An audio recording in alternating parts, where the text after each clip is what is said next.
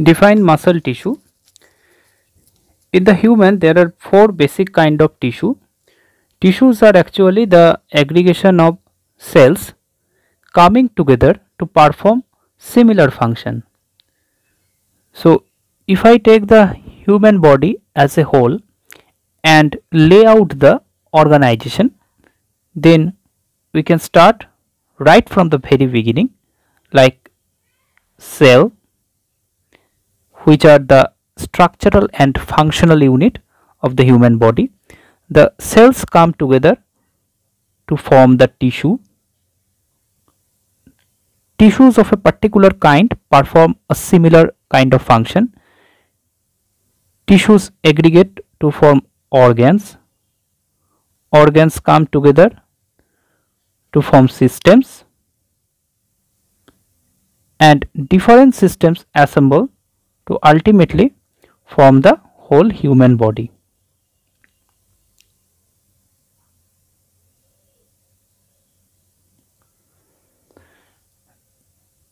Coming to the tissues, there are four basic kind of tissues. Epithelial tissue, number 2 connective tissue Number 3 muscular tissue and last but not the least the nervous tissue. We are talking about the muscular tissue or muscle tissue. Muscle tissue or muscular tissue is one which is characterized by its property of contractility. So, when we are talking about the muscle tissue the first thing we have to note down that muscle tissue is characterized by its property of contractility.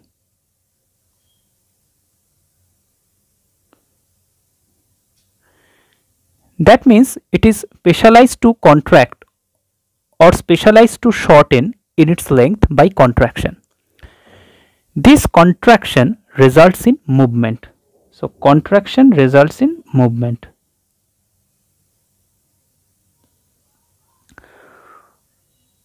So, it is in this way that virtually all the movements of the body both outside and inside in relation to the environment and in relation to one other are ultimately produced. So muscle tissue is meant for contraction and the contraction brings about the movement. What are the components of muscle tissue? Next question. Like any tissue, the muscle tissue is uh, made up of a number of components. First one is the muscle cell Muscle cells are also called the myocytes. When the myocytes are elongated in one direction like this, these elongated cells, these elongated myocytes are known as the muscle fibers.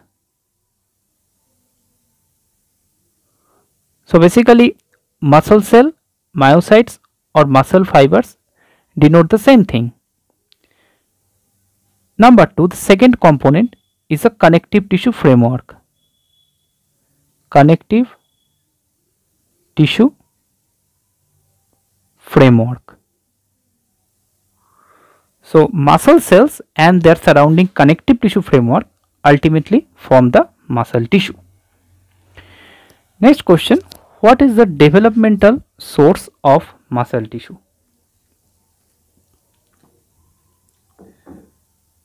The muscle is derived from mesoderm.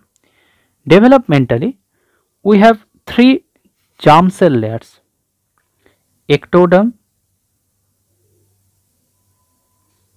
endoderm and mesoderm. All the structures in the human body are either derived from the from the ectoderm or it is derived from the endoderm or mesoderm. Talking about the muscle, the muscle is derived almost from mesoderm. But there are exceptions. The arrector pili muscle of skin, the arrector pili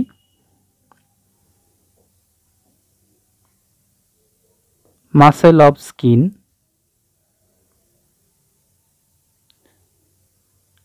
muscles of iris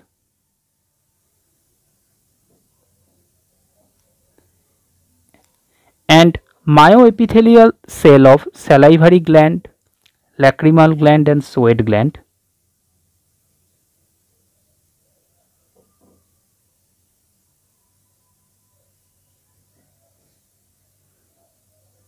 Salivary, lacrimal and sweat glands are derived from ectoderm.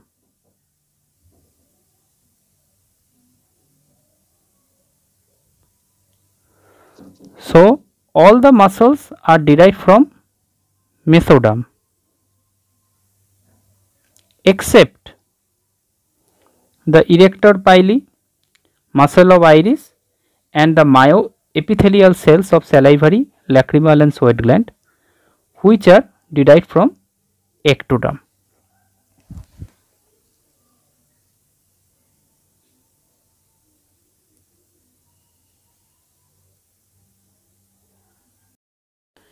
Parts of a voluntary or skeletal muscle. Skeletal muscles are also called voluntary muscle because they can be controlled under the will. Voluntary muscles form about 42% of total body weight. They act on joints producing movements. Only 20% of the energy is set free during the movements and it is expressed as work and the remainder of the energy is utilized to produce heat. Now the parts of a voluntary muscle are two. So a voluntary muscle presents two parts. Voluntary muscle or skeletal muscle. It presents two parts. Number one is the fleshy part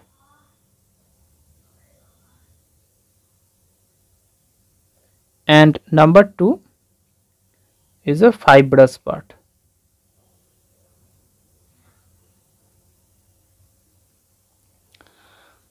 What is the fleshy part? Let's take a look at this muscle. The fleshy part of the muscle is the contractile portion of the muscle which is highly vascular with higher metabolic rate and cannot withstand pressure or friction. So in this diagram, this is the fleshy part which is contractile, highly vascular and made up of muscle cell. So fleshy part fleshy part is contractile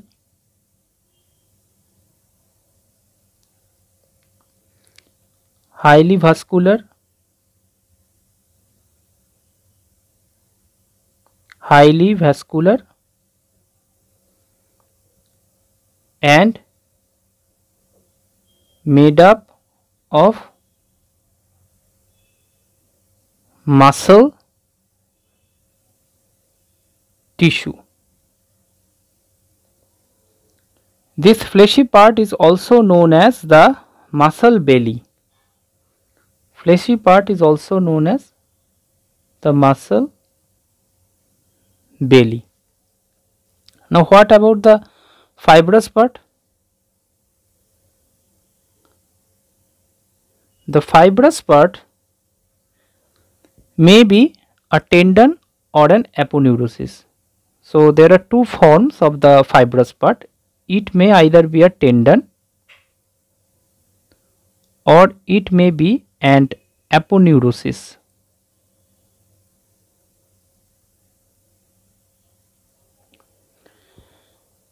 The tendons are non-elastic, cord or rope-like.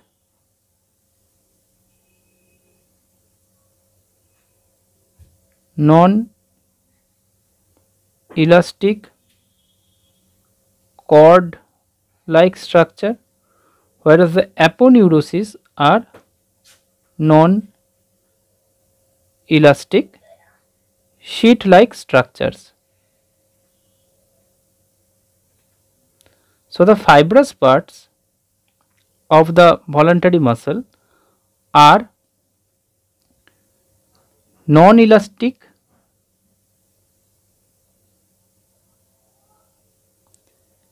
non-contractile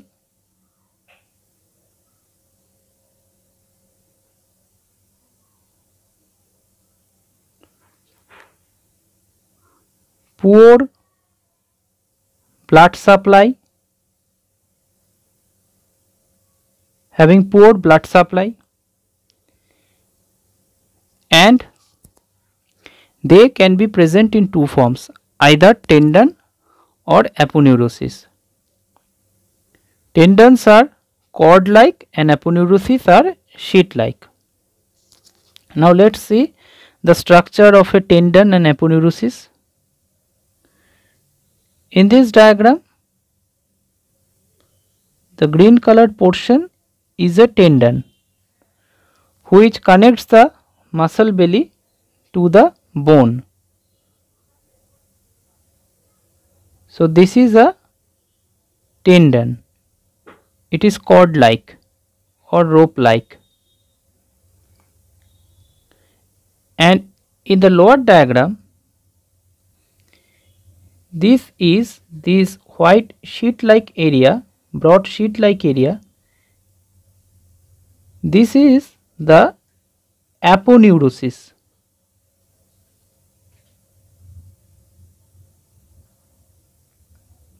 Aponeurosis of external oblique muscle and the muscle belly is this one.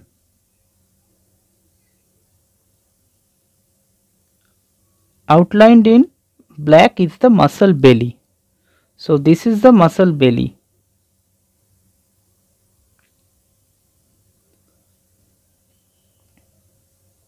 or the fleshy part.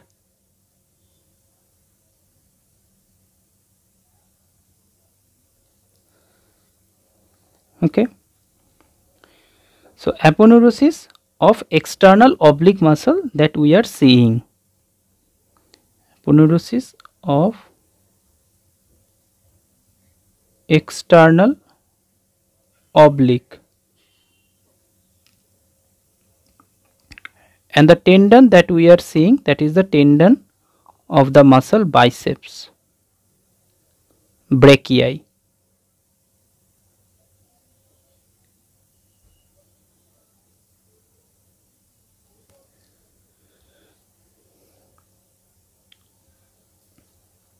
Now what is the utility of a tendon? Now we know that tendon is a fibrous part and it looks like a cord so what are the utilities of a tendon? So let's see what are the utilities of a tendon.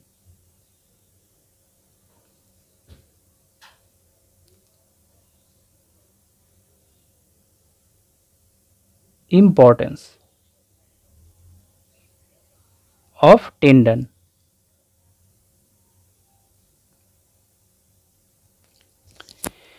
The tendon actually concentrates the muscle pull at the site of insertion. Concentrate the muscle pull.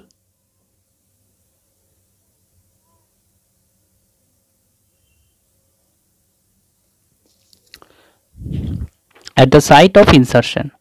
Number 2 that tendons are immensely powerful so that a tendon whose cross-sectional area is 1 square inch can support a weight of 10,000 to 18,000 pounds. Very powerful.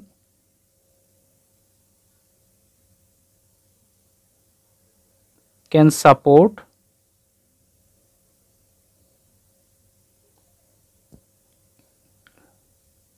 large amount of weight.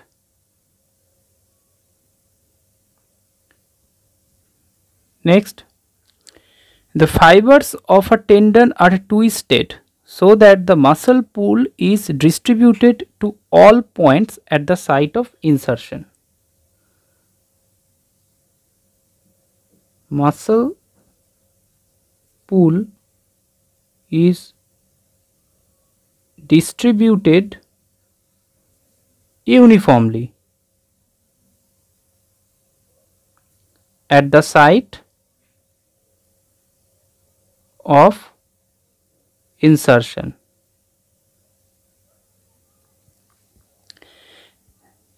When a tendon is subject to sudden and accidental traction at the insertional end, the bone may be fractured. Suppose take this muscle. Suppose we pull this muscle very hard upward. So if we pull this muscle very hard upward then the tendon this part will undergo a tremendous amount of traction So when a tendon is subject to a sudden, sudden and accidental traction at its site of insertion, here the site of insertion is over here. So there is a tremendous amount of traction or upward pull that is applied over the tendon. What will happen? The bone that is attached to the tendon, the part of the bone that is attached to the tendon may be fractured without the rupture of a tendon. So the bone may get fractured over here and it comes upwards with the tendon. So the fracture end actually goes up along with the tendon but the tendon itself is not ruptured. So next point Number D that when a tendon is subject to sudden or accidental traction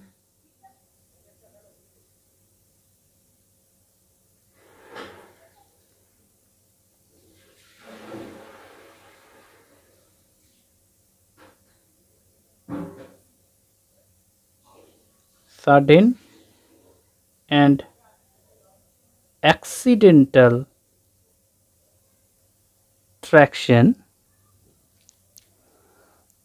the bone may be fractured without the rupture of a tendon.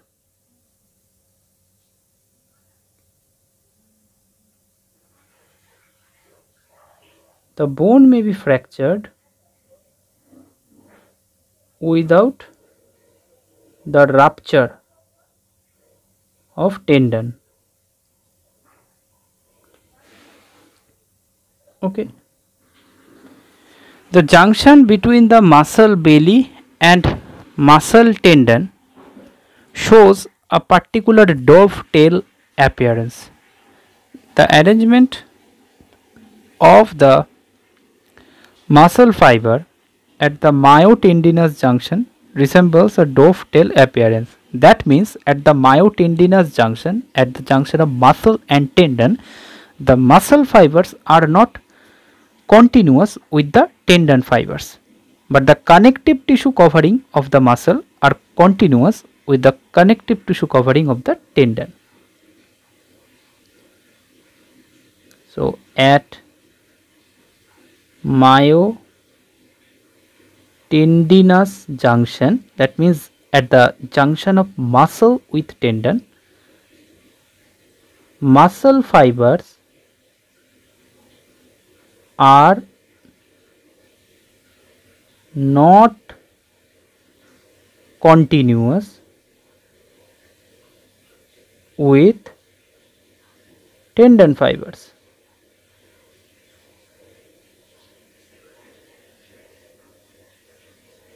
But connective tissue of the muscle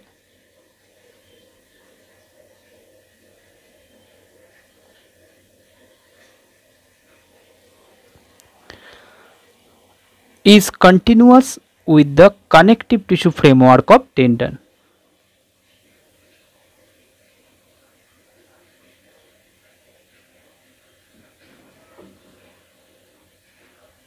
with connective tissue of tendon.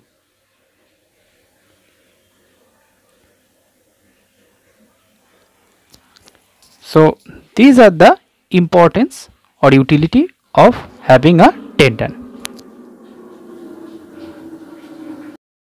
Define the origin and insertion of skeletal muscle. A skeletal muscle have got two ends. A skeletal muscle has got two ends. Each end of a muscle is attached by connective tissue to a bone or cartilage. For example, take this muscle. This is a skeletal muscle. Skeletal muscle. This one is the biceps brachii.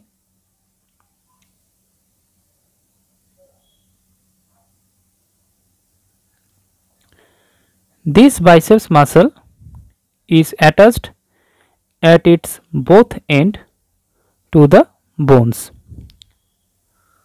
So, this is one end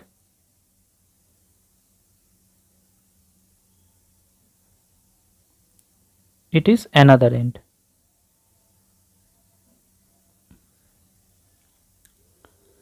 So, there are two ends. One is the proximal end that means this end of the biceps muscle is closer to the center of the body and the other end is known as the distal end. Distal end means this end of the biceps muscle is away from the center of the body. Now, when the biceps muscle in this diagram is contracting, usually one of its end remain relatively fixed and the other end moves. So, one end out of the two remain relatively fixed. So, in this diagram when the biceps muscle is contracting the elbow is flexed. The forearm is bending forward. That means the distal end is moving right? As the forearm is bending forward so the distal end of the skeletal muscle is actually moving and the proximal end remains fixed. So when this muscle is contracting out of the two end one of the end is remaining fixed in this diagram it is the proximal end that is fixed and the other end that is the distal end in this diagram that is moving. So by convention the fixed end is called the origin. So the fixed end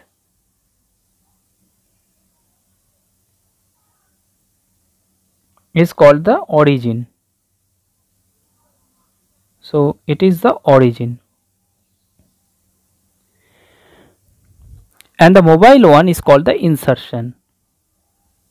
Mobile end is known as insertion. So it is the distal end or mobile end that is the insertion and the fixed end is the origin.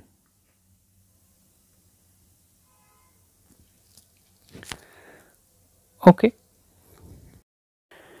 difference between red and white muscle. The skeletal muscles are classified according to different parameters and one such parameter is color. And according to color the muscles have been classified into two types red and white. So according to color the skeletal muscles are categorized into two main varieties red variety and white variety. And there is another variety that is intermediate that is called mixed variety. We are discussing about the main difference between the red and white. Okay the red muscles are red because they are rich in vascularity. That means the capillary density in and around the red muscles are much more. And number two the amount of myohemoglobin in the sarcoplasm of the red muscles is much high. Okay? So red muscle fibers are rich in blood supply as well as rich in myohemoglobin or myoglobin.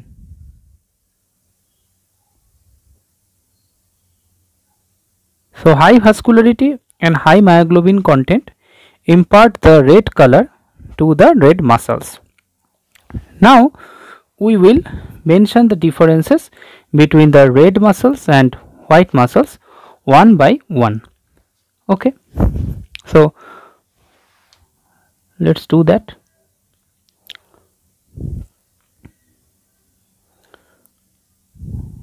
On the left hand side I am writing the red on the right hand side I am writing the white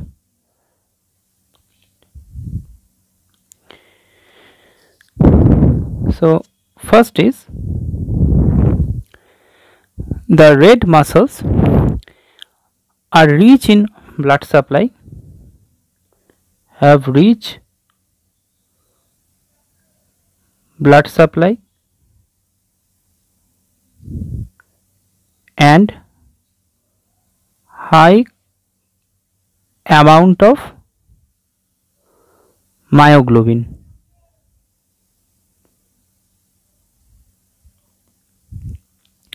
White muscles have relatively less blood supply and they have less amount of myoglobin.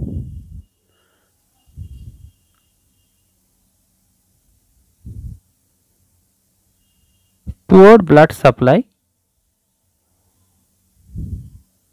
and less amount of myoglobin. So that is the first difference. What is the next? Number 2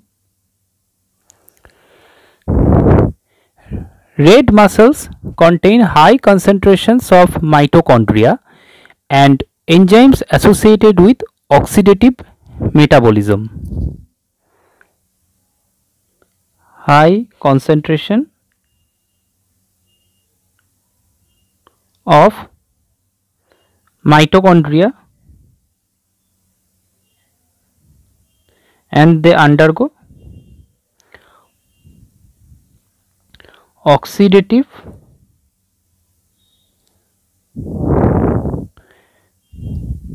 metabolism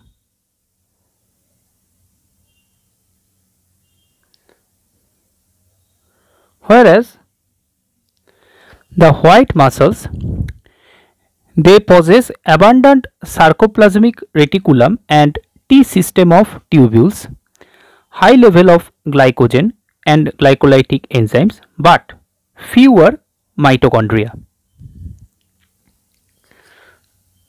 So, white muscles have less amount of mitochondria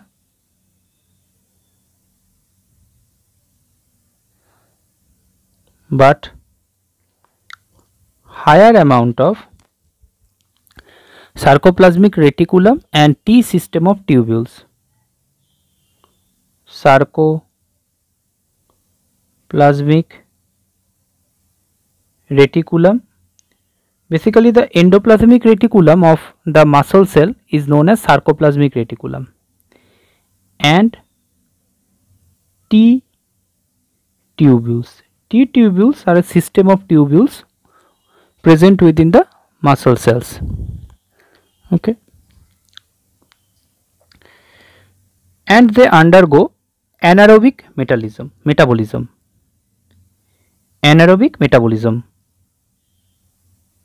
Anaerobic metabolism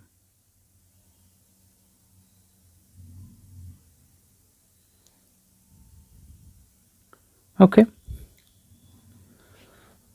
so we have already mentioned two most important differences. Now the red fibers as they undergo oxidative metabolism they are called the oxidative fibers.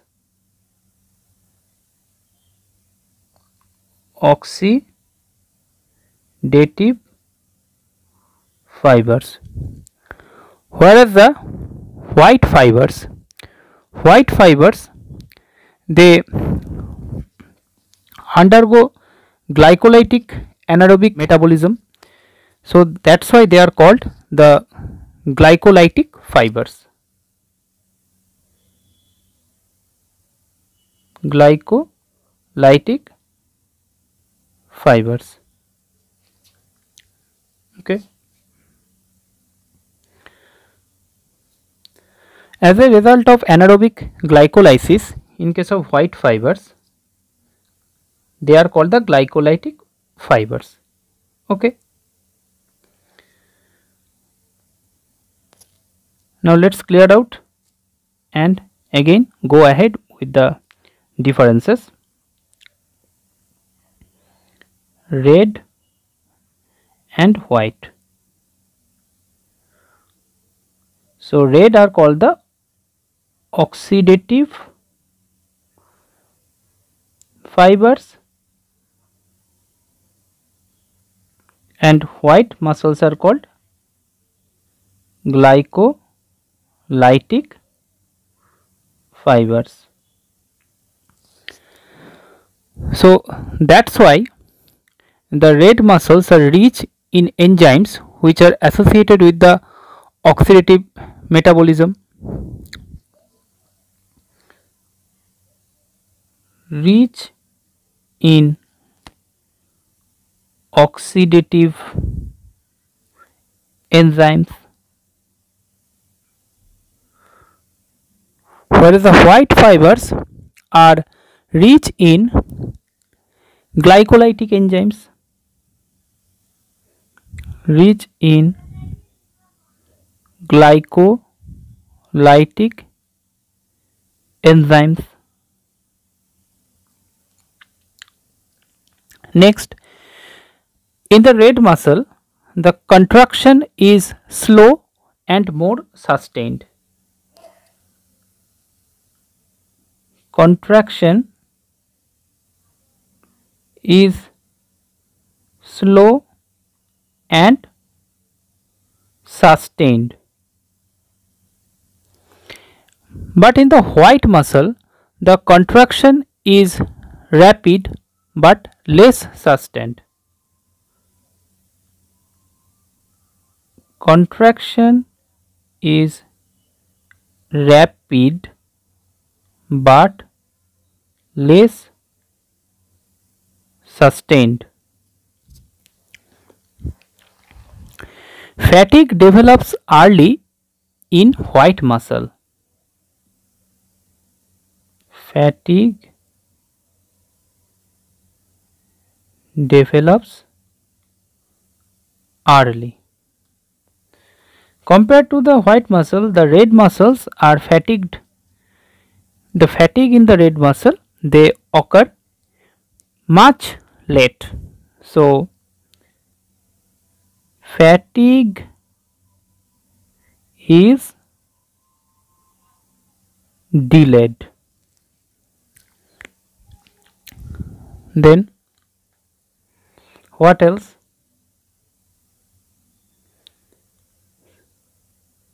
Red versus white.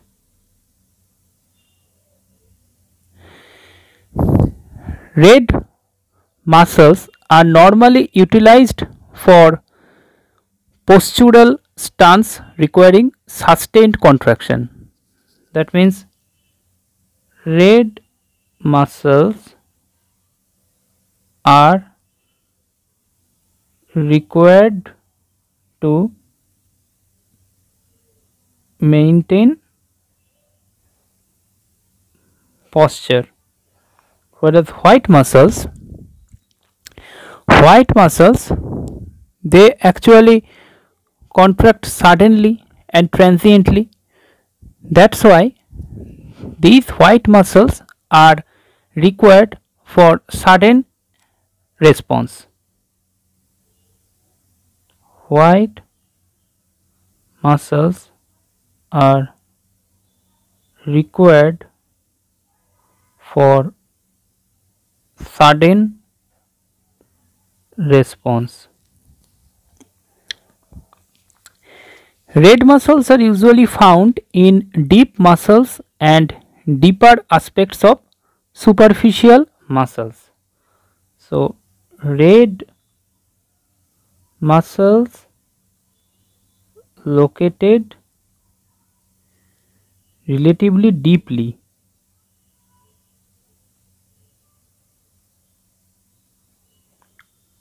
white muscles are relatively superficial.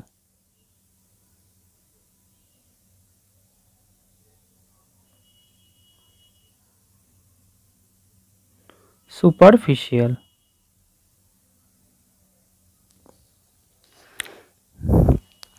Okay. What are the examples of such red and white muscles red and white example of red muscle like uh, brachialis muscle soleus muscle brachialis, soleus. What is the example of white muscle? The example of white muscle is hamstring muscle, biceps brachii, biceps brachii, hamstring, gastrocnemius, etc. So, these are the main differences between the red and white muscles. Difference between the shunt muscle and the SPURT muscle. According to the force of action, the skeletal muscle have been categorized into two varieties, shunt muscle and SPURT muscle. Now what is a shunt muscle and what is a SPURT muscle? Take a simple joint which in this case is the elbow joint. Elbow joint. Now there are two muscles both of them are acting on the elbow joint. Now let me draw the elbow joint separately. This is a schematic view of elbow joint showing the bone of the arm and bone of the forearm respectively. Now a muscle is spanning the joint and is attached to both the bone of the arm and bone of the forearm. So that is the muscle.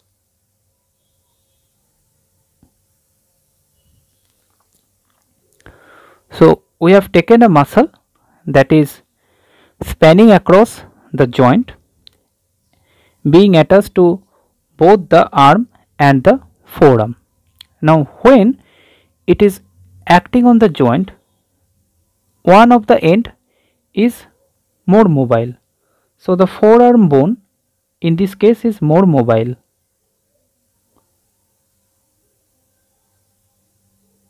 So when the muscle is contracting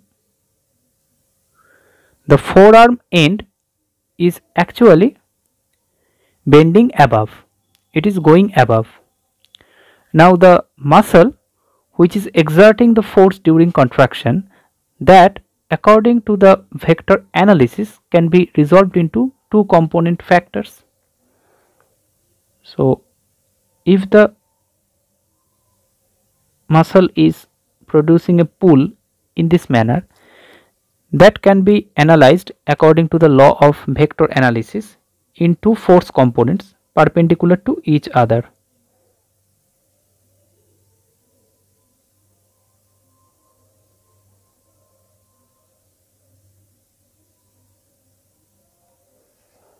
So we resolve the pull of the muscle into two perpendicular components according to vector analysis. One is the swing component. The swing component tend to produce the angular movement of the joint. So this is the swing component. Swing. Swing component tends to produce the angular movement of the joint and another component is the shunt component which tends to draw the bone towards the joint. So another is the shunt component. So this one is the shunt component.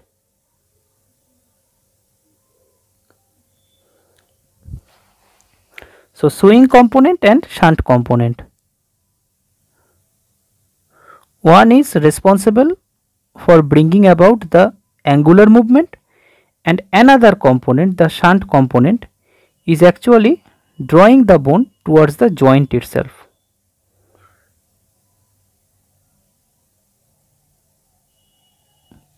Okay.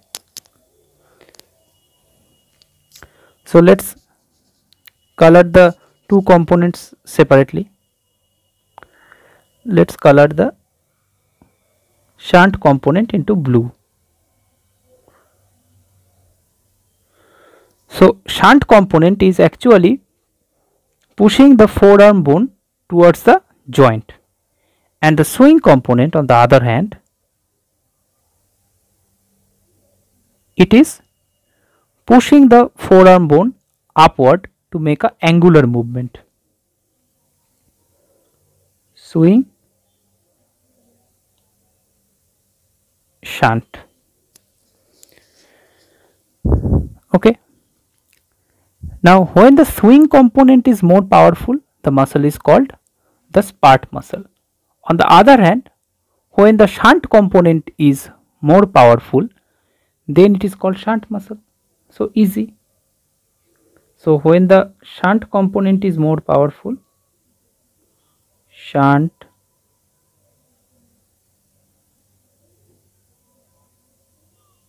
when the shunt component is more powerful than the swing component.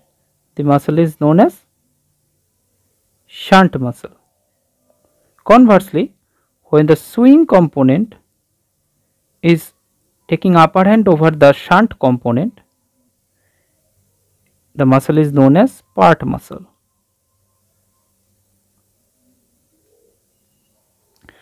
Now take a look at the diagram.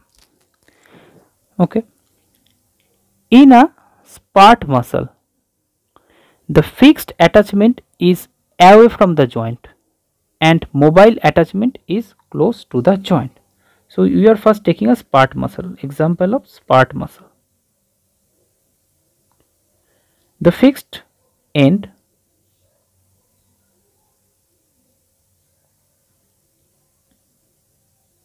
fixed end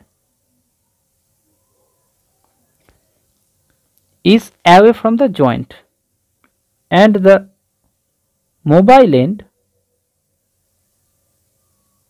is close to the joint.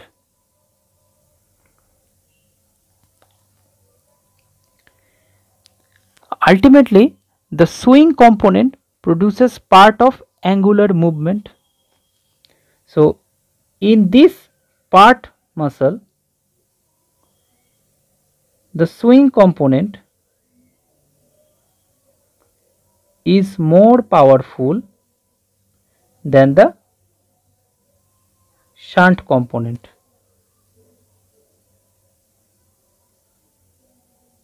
Swing component predominates. That's why it is a SPURT muscle. So, in a SPURT muscle, the mobile end lies closer to the joint than the fixed end.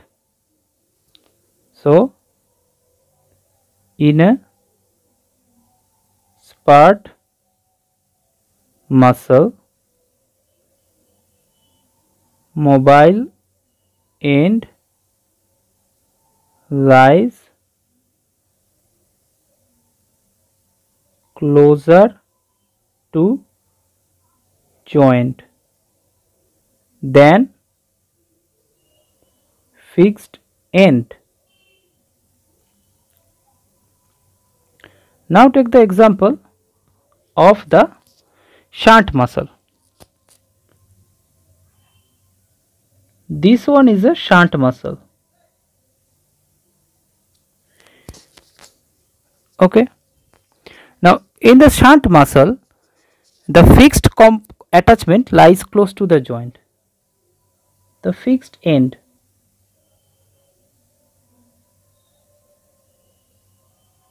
it is like lying close to the joint and the mobile end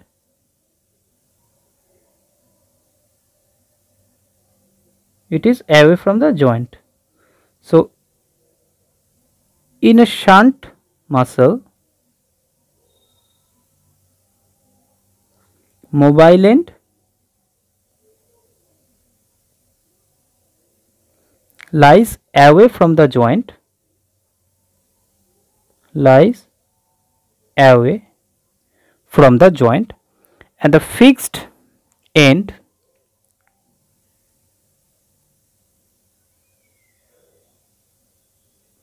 lies closer to the joint.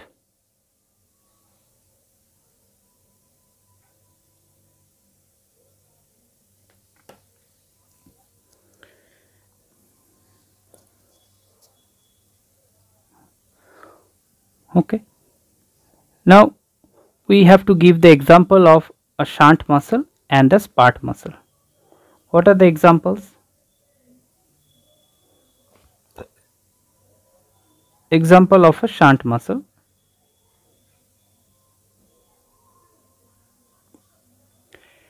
Brachioradialis. Brachioradialis. Example of a SPURT muscle. That is the brachialis.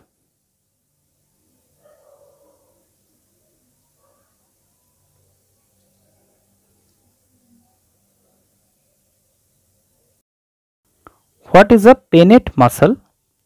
Define unipennate, bipennate, multipennate and circumpennate muscle with examples. A skeletal muscle have got two parts. One is the fleshy part and another is the fibrous part.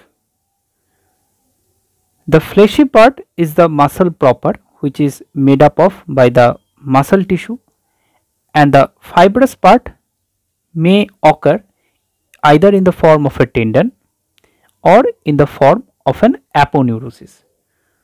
Now, according to the direction of the muscle fiber in the fleshy part with relation to the line of pull, the muscles are classified into the following categories. So, according to the direction of muscle fibers in fleshy part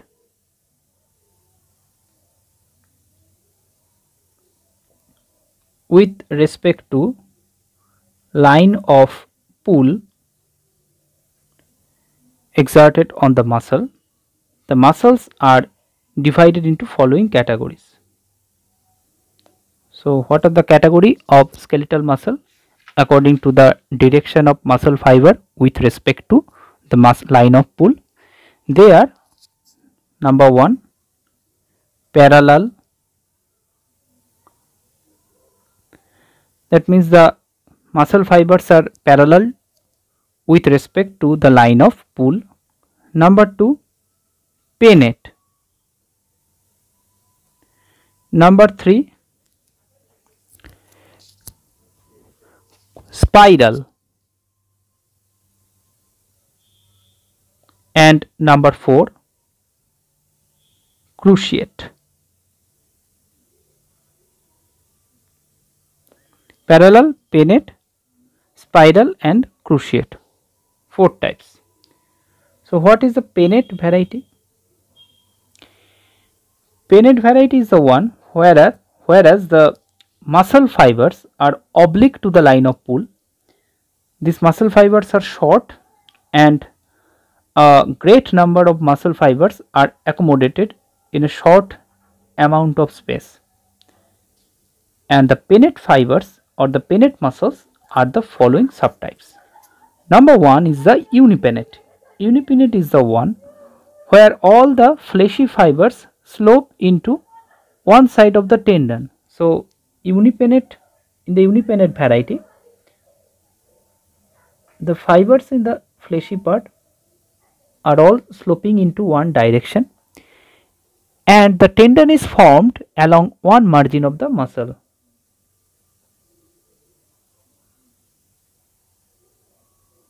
So that is a tendon.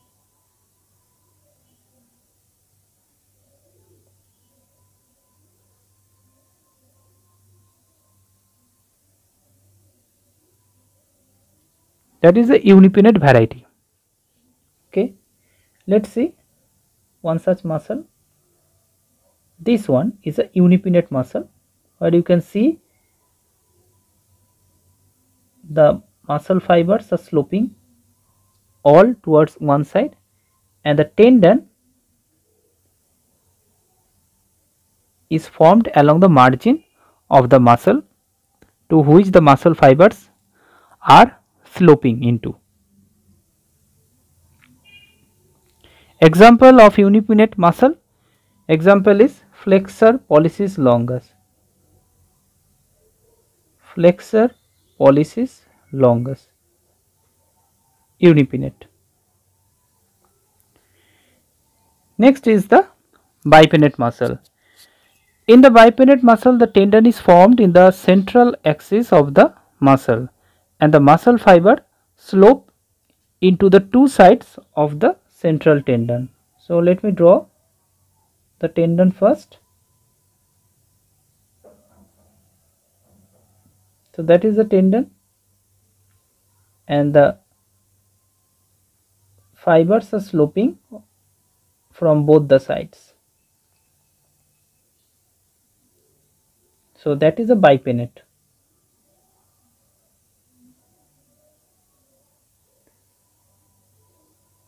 Example of bipinnate muscle. Example is dorsal interossei. Dorsal interossei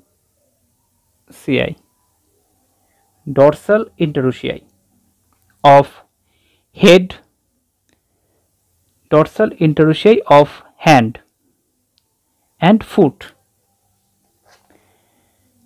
next.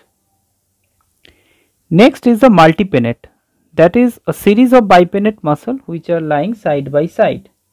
So there is a series of bipinnate let us draw the bipinnates first. So that is one bipinnate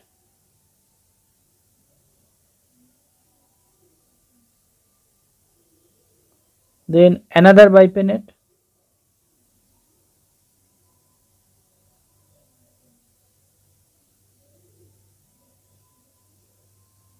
next another.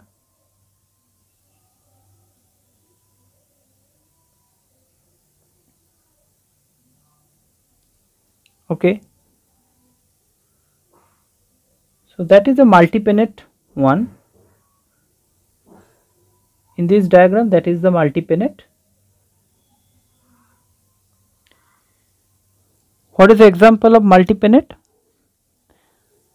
acromial fibers of deltoid example.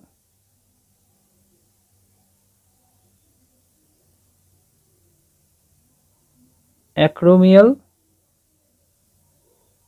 fibers of deltoid. And the fourth one the circumpennate what is the circumpennate the muscle is cylindrical within which a central tendon appears and the muscle fibers all are oblique and converge into the central tendon from all sides so here is the tendon along the central axis of a cylindrical muscle and the muscle fibers are basically converging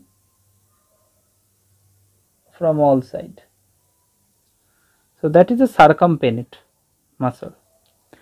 Example is tibialis anterior. Example tibialis anterior.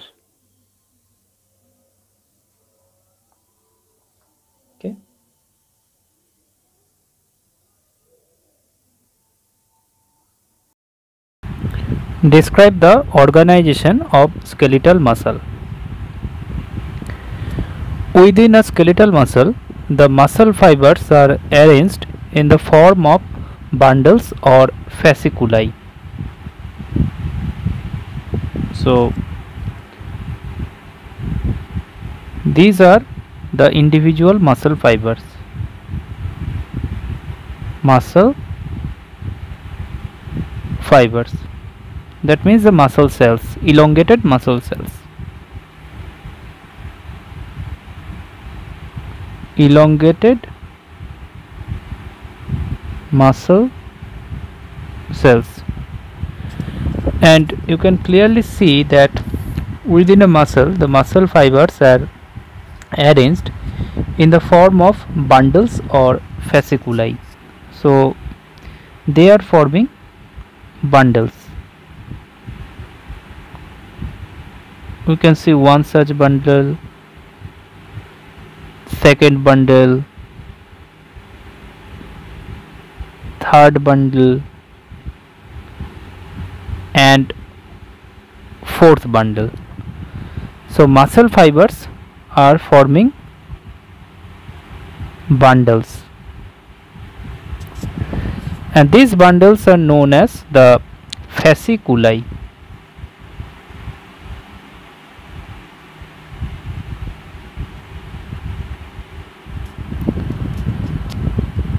The number of fasciculi in a muscle and the number of fibers in each fasciculi are both highly variable. So these are the muscle fibers, cross section of the muscle fibers in muscle fasciculi. So fibers form the bundles. In small muscles, which are concerned with fine movements like those of the eyeball or those of the vocal folds. The fasciculi are delicate and few in number. In large muscles in which strength of contraction is the main consideration, the fasciculi are coarse and numerous. Okay, so fasciculi they are less in number or few in number.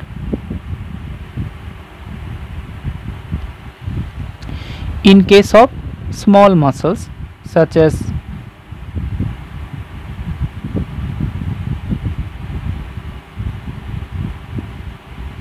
muscles of eyeball.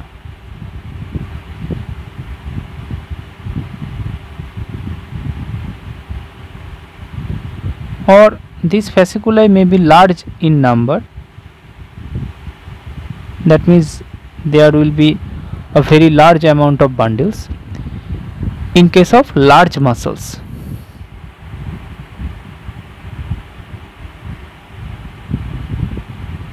So number of bundles or number of fasciculi varies according to the nature of the muscle. In small muscle they are less in number and in large muscle they are numerous now each muscle fiber is closely invested by connective tissue. Each individual muscle fiber is surrounded by delicate connective tissue that is called endomysium. Now let us clear up the picture and see. Each individual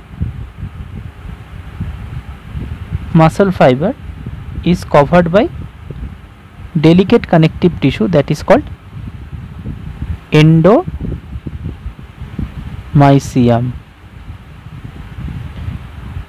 around individual fibers Individual fiber bundles or fasciculi are surrounded by a stronger sheath of connective tissue that is called perimysium. So the fasciculi is surrounded by perimycium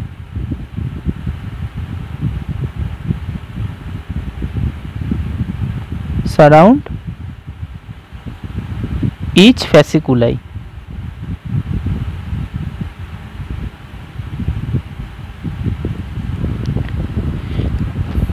And the entire muscle which is actually a collection of a large number of bundle the entire muscle is surrounded by connective tissue which is called epimysium so that is the covering connective tissue covering.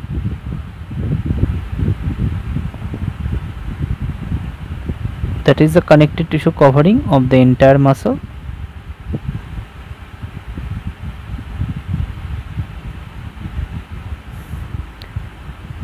that is called epimysium.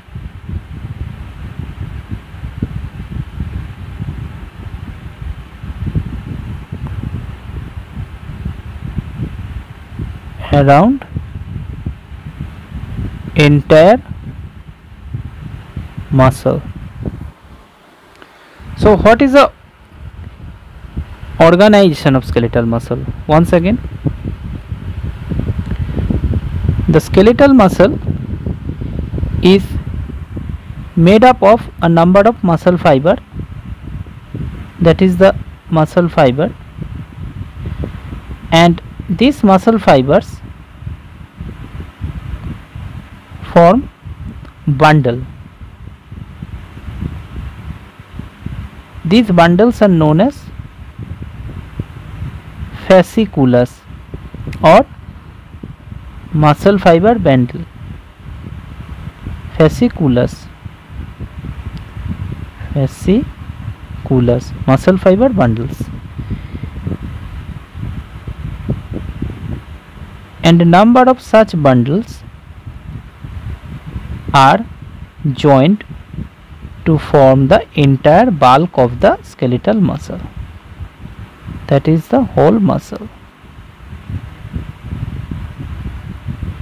now each muscle fiber if we resolve them into finer component they are made up of fine finer elements which are known as the myofibrils. So the muscle fibers are formed by myofibrils. This is the muscle fiber each myofibril is in turn made up of very thin filaments which are called the myofilaments.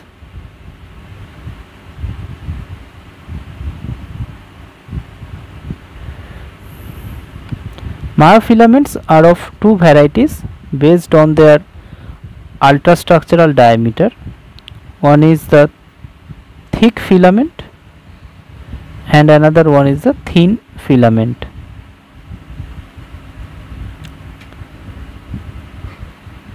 So starting from the myofilament and going towards the larger element, the myofilaments make up the myofibrils. Myofibrils make up the muscle fiber. A number of muscle fiber form a bundle that is called the fasciculi.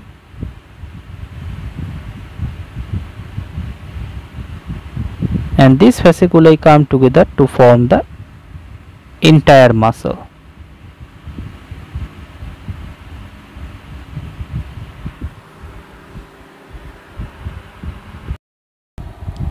Name the components of a skeletal muscle fiber. So, the basic organization of the skeletal muscle fiber is as follows. The muscle fibers are grouped into bundles. So, let us see the picture. In a skeletal muscle,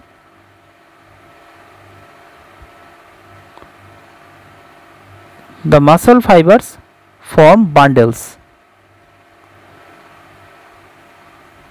These are different bundles. One such bundle is known as the fasciculus. Now, each bundle is a collection of elongated cylindrical muscle cells which are known as the muscle fibers. So, this is a muscle fiber.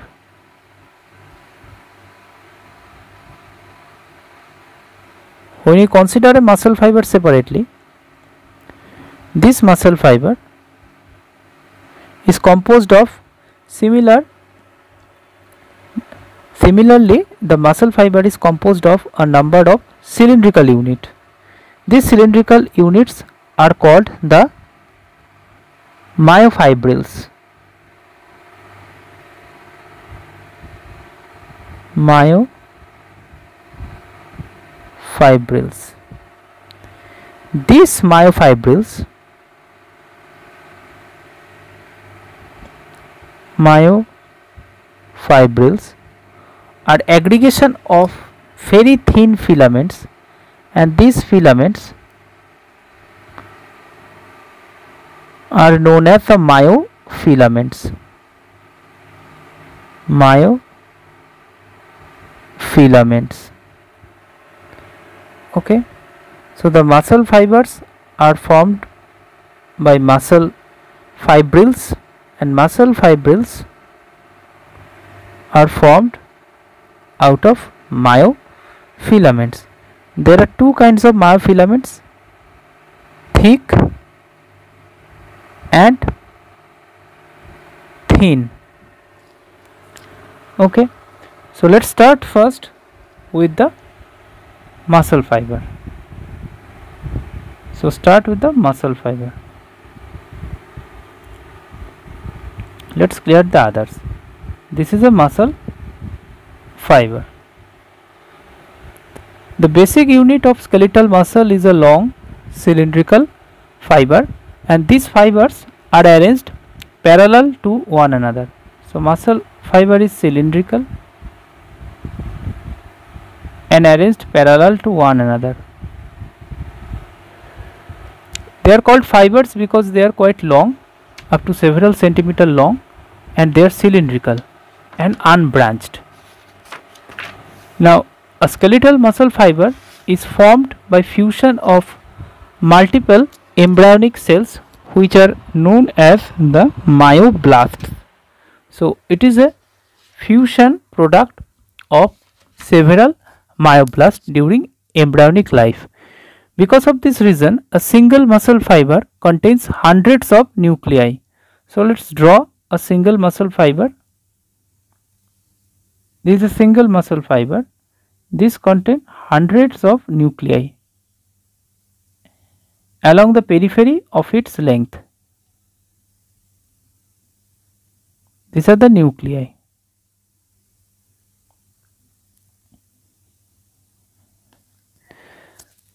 These nuclei are present in the peripheral cytoplasm just beneath the plasma membrane. The plasma membrane in case of skeletal muscle fiber is known as the sarcolemma. And the cytoplasm that is contained within the skeletal muscle fiber, it is known as the sarcoplasm that is the cytoplasm and sarcolemma is the cytoplasmic membrane.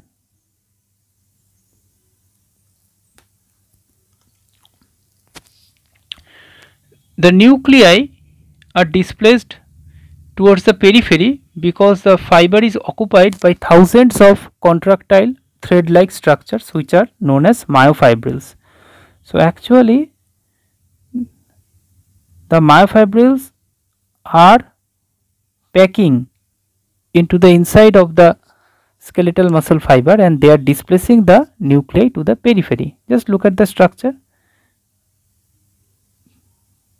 These are the myofibril packing the interior. So, the cytoplasm is closely packed with numerous cylindrical fibrils which are known as the myofibrils okay myofibrils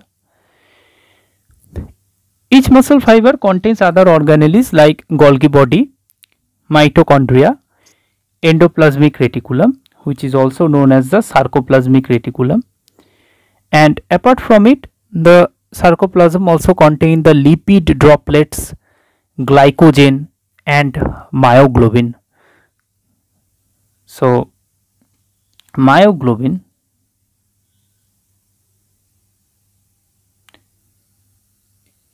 it is a oxygen binding protein red colored oxygen binding protein and it, it is responsible for the redness of the red muscle because in red muscle this myoglobin is abundant. Under light microscope the muscle fiber shows characteristic alternate dark and light regions which are which are known as transverse striations. You can see alternate dark and light regions. It is known as the transverse striations. Striations okay these striations are actually alternate dark and light bands the dark bands are called a bands dark bands are called a bands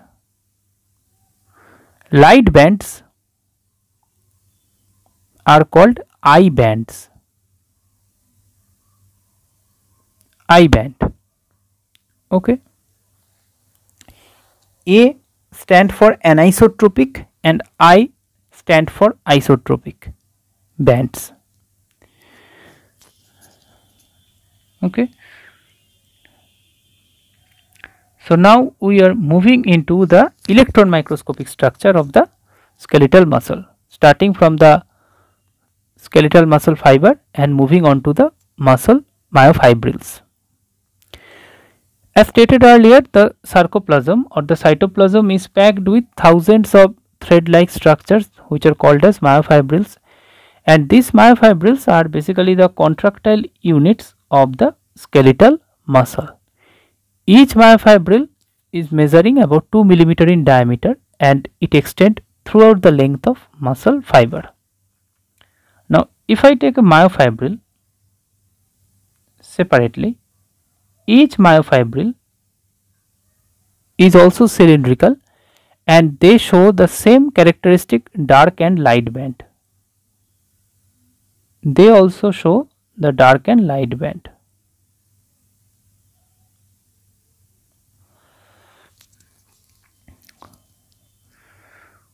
So, like the muscle fiber, the underlying myofibril show the cross striations. So, in a muscle fiber, the dark and light bands of adjacent myofibrils actually are reflected as a whole.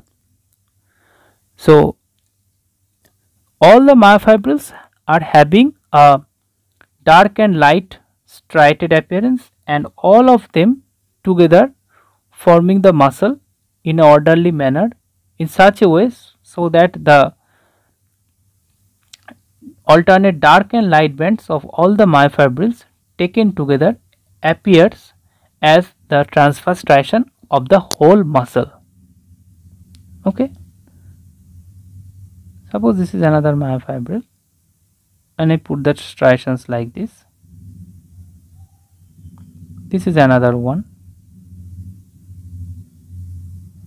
there are striations. So when the myofibrils are taken as a whole in the muscle fiber all these striations collectively are reflected onto the muscle fiber itself. Okay. Now the light area on the myofibril is known as I band and the dark area is the A band just like the muscle fiber. So let's see. So this is the structure of a myofibril and you can see inside the myofibril there are all these line like structures. These structures are actually myofilaments. So the collection of myofilament that means this structure is a myofibril.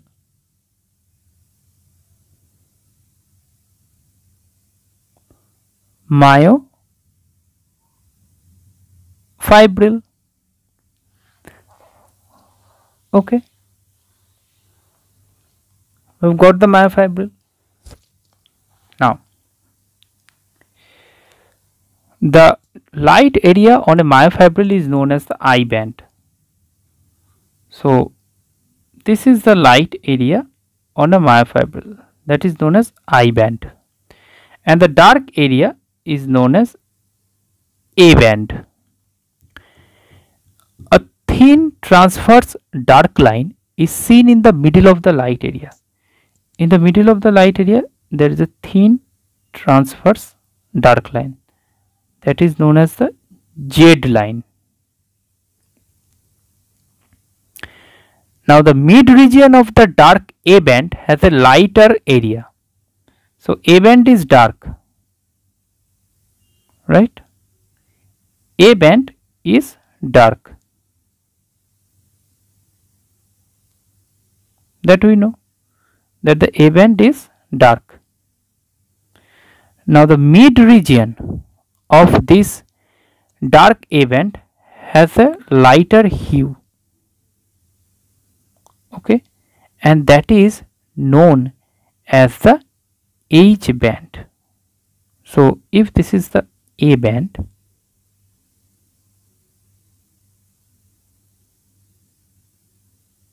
this region has a lighter hue. That is called H band. H band. And in the middle of H band there is presence of a transverse dark line. That is called M line. In the middle of H band there is a transverse dark line that is called M line. Okay? So A band in the middle of A band H band in the middle of H band M line. And there is I band. In the middle of I band is the Z line. Okay?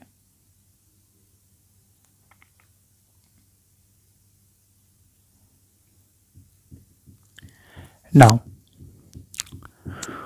within the myofibril, there are two types of even smaller filamentous elements which are known as myofilaments. I told you that the myofibrils are made up of filamentous structures. Those are called myofilaments and there are two types of myofilaments thick or myosin filaments and thin or actin filaments. Okay. Now, if I take a look at the structure, then you will see that A bands are made up of two kinds of filaments.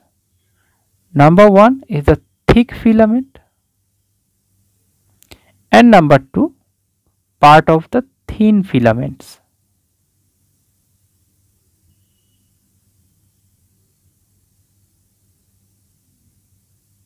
Green are the thin filaments.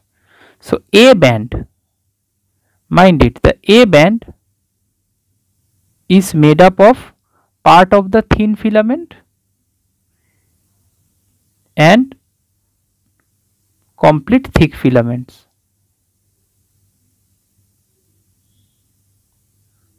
Okay. So that is the composition of A band. Once again, this is the thick filament.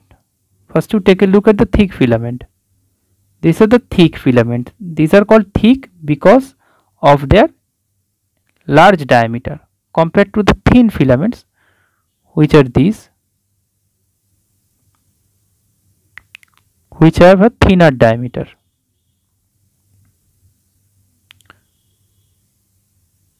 So the A band basically covers whole of the thick filament and part of the thin filament by the side of the thick filaments. So A band is made up of thick filament plus part thin filaments.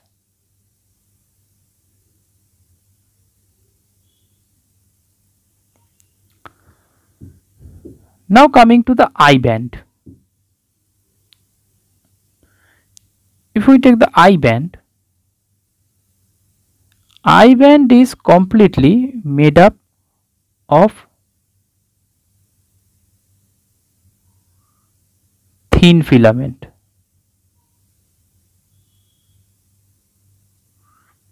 I band is completely made up by the thin filament.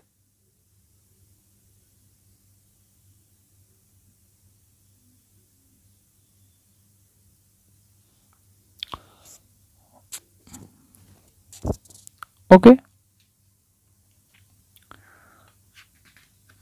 So first we have gotten this very clear. How the A band and I band is formed. Now the Z line. Z line are seen through the middle of the I band. Now these Z lines are the area where the thin filaments where the thin filaments are attached. Okay? Z band.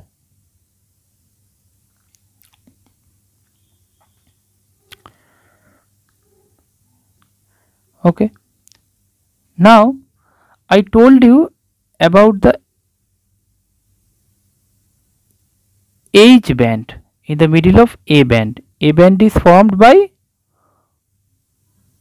thick filament plus partly thin filament.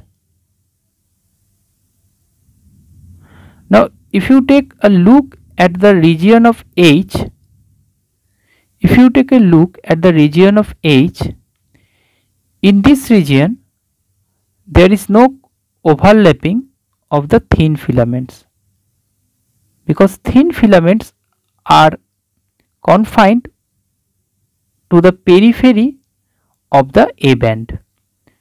So this region of the A band is free from the thin filaments.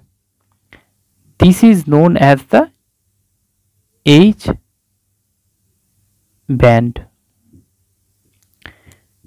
Okay, the center region of the A band which is free from the thin filaments.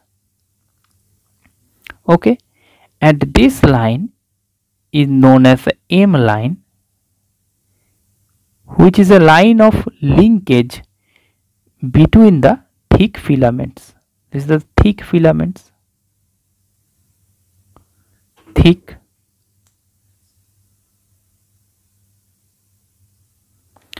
So in between the thick filament there is a line of linkage that is called the M line.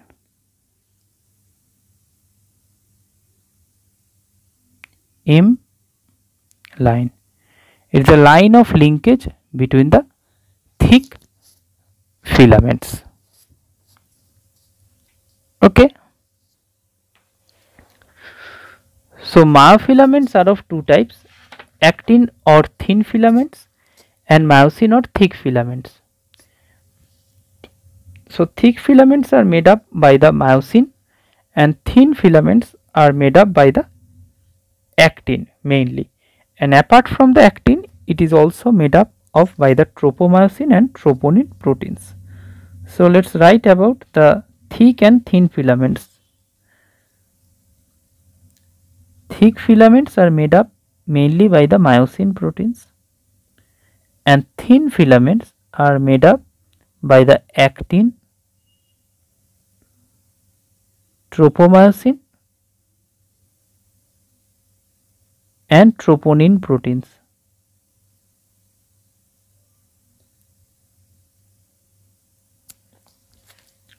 Okay. Now the Z lines are present along the line of attachment of the thin filaments. That is one Z line. That is the next Z line. And the gap or the distance between the two successive Z lines is known as the sarcomere. So, the sarcomere is the area between two consecutive Z lines. So, two consecutive Z lines are separated by a gap that is known as sarcomere. That is the main contractile unit of a skeletal muscle. Whenever the skeletal muscle contract, the actin filaments or the thin filaments they glide into the myosin filaments. So, the green are the actin filaments. This is this diagram represents the relaxed state of the muscle. When the same muscle is contracting, you see the thin filaments are going deep into the thick filament. They are gliding. So, the Z lines, the distance between the Z line is reducing. So, the sarcomere is contracting. Okay. So, that is a contracted state.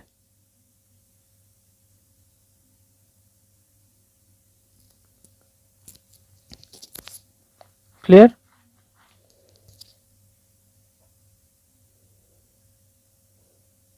So, we have seen the components of the skeletal muscle fiber. We have seen the A band, H band, Z, I and M bands. What are the other proteins of the skeletal muscle apart from the actin, myosin, tropomyosin and troponin? The other important proteins in the skeletal muscle are titin, nebulin, tropomodulin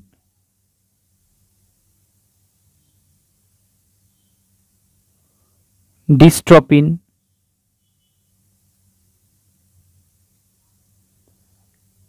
and alpha actinin.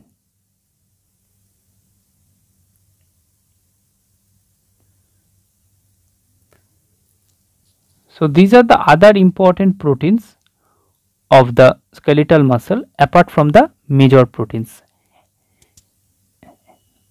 actin and myosin.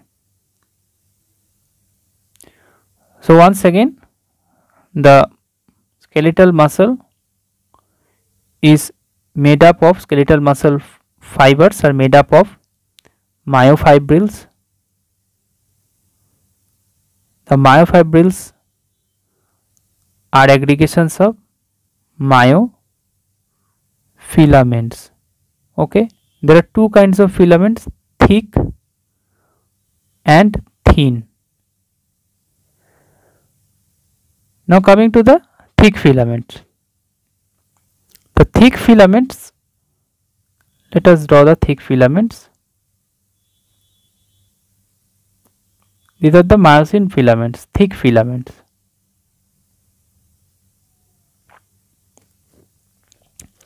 And the thin filaments, they extend to some extent into the periphery of the thick filaments. So, they enter to some extent within the successive thick filaments. So, these are the thick, these are the thin. Okay. Now, thin filaments are attached at one end to the Z line. That is one Z line, that is another Z line. Okay. On the other side of Z line, another set of thin filaments are attached.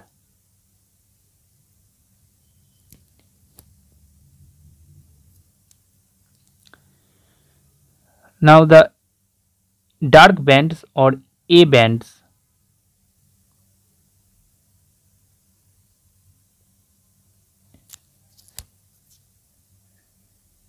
A bands are having the same length as that of the thick filaments A band and A bands are composed of thick filament completely and partially with the thin filaments. Whereas the I bands which are the lighter bands they are composed of the thin filaments only. I bands are only composed of the thin filaments.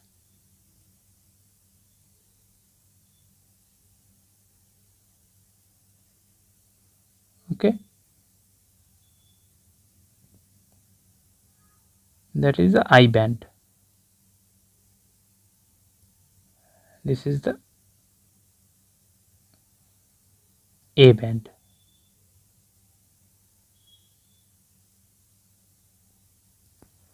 So A band is composed of thick and thin filaments and I band is composed of only thin filament. The distance between the two Z lines is called the sarcomere. The area between the two Z lines is called a sarcomere which is the contractile unit of a skeletal muscle fiber. Now in the middle of A band there is a region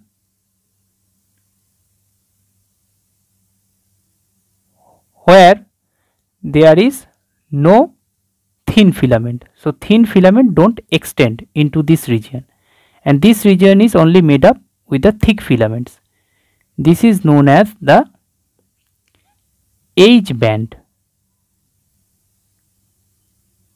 H band which is made up only by the thick filaments and the center of the H band they are connected with another band.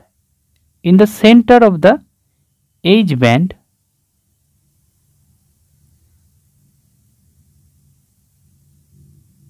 in the center of the H band there is another band that connects all the myosin filament that is called the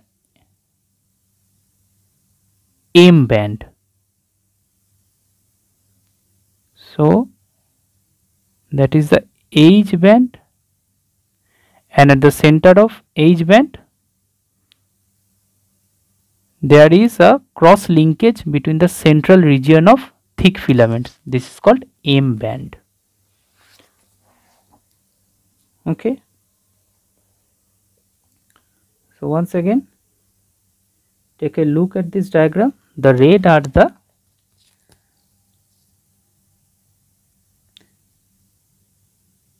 thick filaments okay and the green are the thin filaments extending to some extent in between the thick filaments and this is the zone of A band.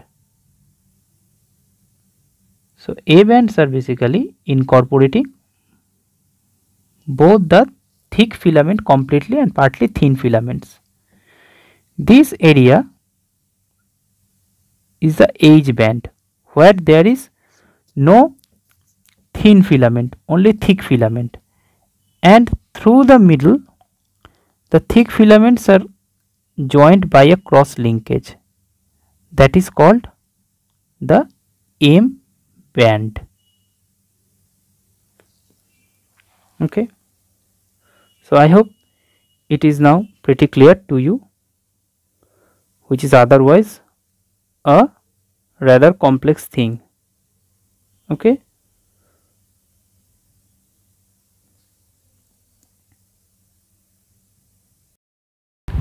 What is neurovascular hilum? Mention the mode of neurovascular supply of the skeletal muscle. First we describe the blood supply of the skeletal muscle.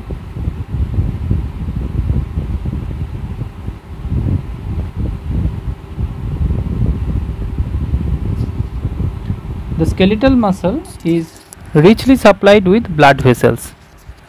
The main artery to the muscle enters at the muscle along with the supplying nerve and that point of entry of the nerve and vessel into the muscle is known as neurovascular hilum. So, neurovascular hilum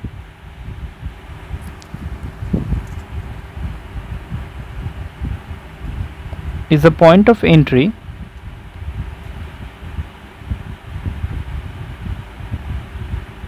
of nerve and vessels into skeletal muscle. Okay now apart from the main artery Several other arteries may also enter the muscle at its ends or at other places along its length. These arteries which are entering the muscle they form a plexus in the epimysium. So arteries form plexus in epimysium. Mysium that is the connective tissue covering of the whole or entire muscle and also in the perimysium. Perimysium is the connective tissue covering of the bundles of muscle fiber that make up to form the muscle and ultimately end up in a network of capillaries that surround each muscle fiber. This network is richer in red muscle than in white muscle. So arteries are forming plexus in epimysium, then in the perimysium and ultimately surround individual fibers. Now it is hereby noted that the individual fibers in a muscle form a bundle. That bundle is surrounded by the perimysium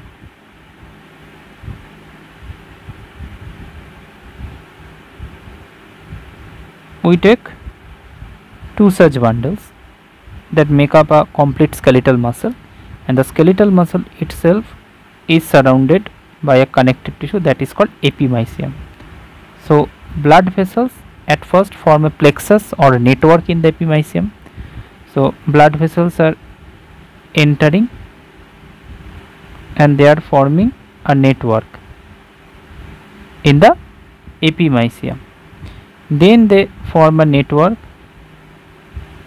in the next connective tissue covering around the bundles that is the perimysium and after that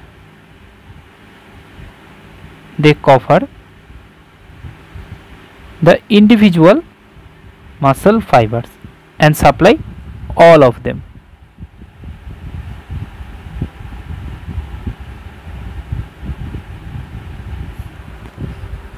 Okay?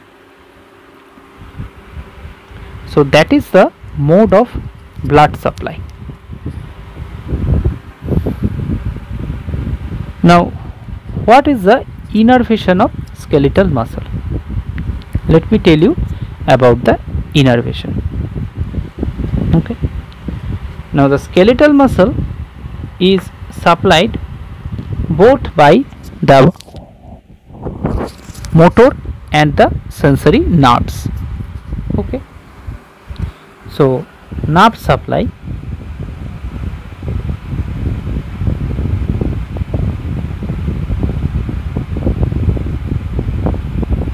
of the skeletal nerve is done by motor fibers and sensory fibers. So it has got a motor supply and a sensory supply.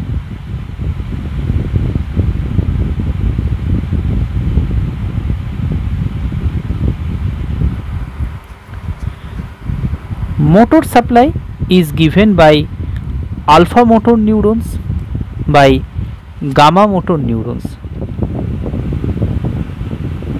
alpha motor neurons and by gamma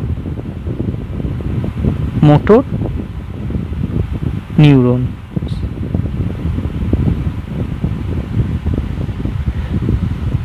the alpha motor neurons supply the extrafusal fibers remember in a skeletal muscle there are two kinds of fiber. One are the regular fibers which are called extrafusal fibers and they are supplied by the alpha motor neurons. Extrafusal and the limited minority of the fibers are called the intrafusal fibers. And these intrafusal fibers are supplied by the gamma motor neurons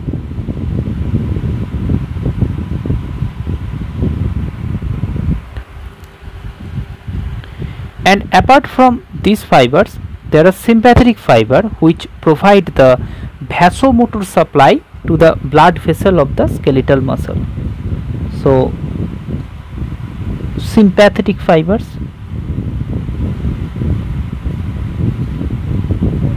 These sympathetic fibers provide the vasomotor supply.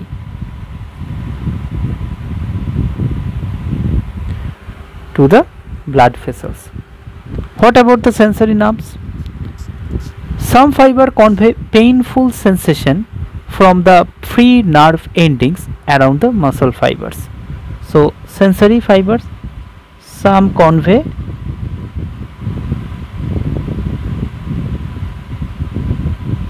pain sensation.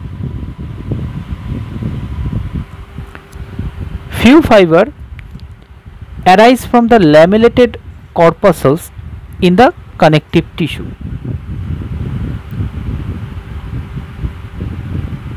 Some arise from lamellated corpuscles. The fibers that convey pain they arise from the free nerve endings.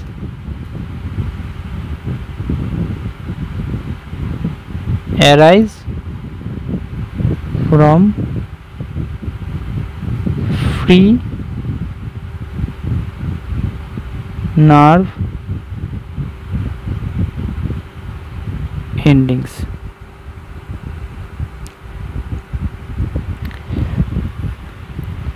and annulospiral and flower spray endings of the muscle spindle also give rise to sensory nerves.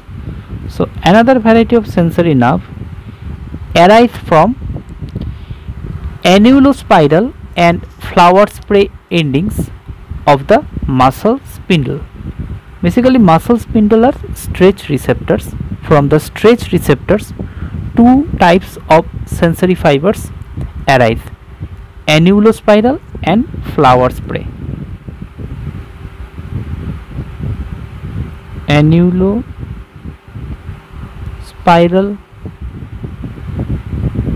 and flower spray. Let me show you the annulospiral and flower spray. What does they mean? Basically this is the muscle spindle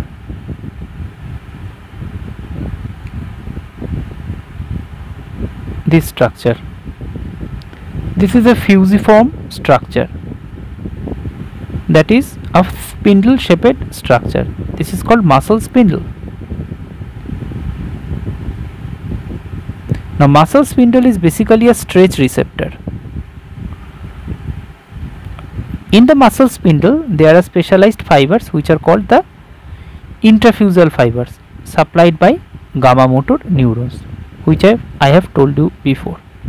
Now around these intrafusal fibers there are these sensory nerve endings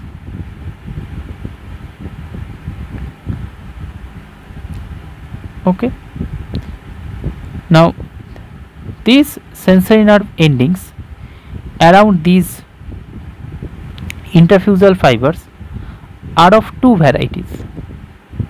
One is the annulospiral sensory nerve endings.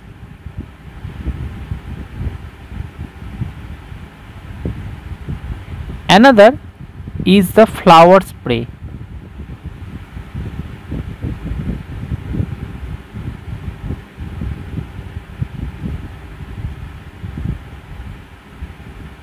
So from both the sensory nerve endings, both from the annulospiral ending, the sensory nerve arise and carry the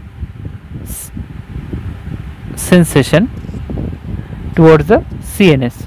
Similarly from the flower spray ending, the sensory nerves arise and carry the sensation to the CNS. So annulospiral and flower spray are two specialized sensory nerve endings. So sensory nerves which convey the pain they arise from free nerve endings. Sensory nerve there are some sensory nerve which arise from lamellated corpuscle. Some sensory nerve arise from flower spray ending. Some of them arise from annulospiral ending so that is the mode of organization of the nerve supply in and around a skeletal muscle. Now coming to the next part what is motor unit? The number of muscle fibers in a skeletal muscle supplied by a single alpha motor neuron is known as the motor unit. So as i have told you the alpha motor neuron in this case this is the alpha motor neuron. It is supplies a number of extrafusal fiber.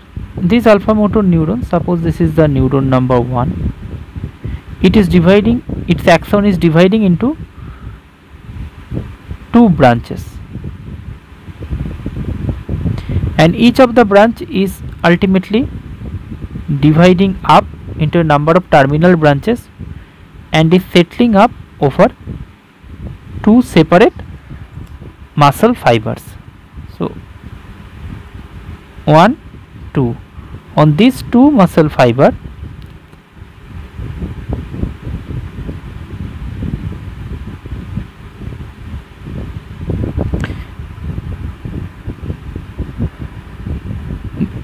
this number one alpha motor neuron is settling. So alpha motor neuron motor neuron number one is supplying to supplying two muscle fibers.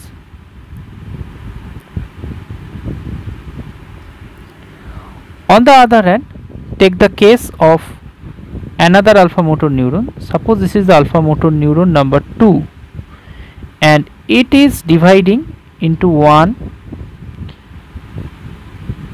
2 and 3 branches. And these 3 branches are supplying 1 2 and 3 1 2 and 3 so alpha motor neuron number 2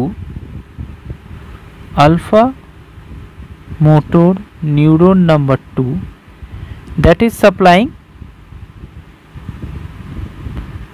3 muscle fibers so number of muscle fibers that is supplied by a single alpha motor neuron is known as the motor unit. So for the alpha motor neuron number 1 the motor unit equals to 2 muscle fibers and in case of alpha motor neuron 2 the muscle motor unit comprises of 3 3 muscle fibers. So motor unit is varying right. Now there are two types of motor units large motor units and small motor unit when a single alpha motor neuron supplies about 100 to 200 muscle fibers, it is known as large motor unit. So what is a large motor unit?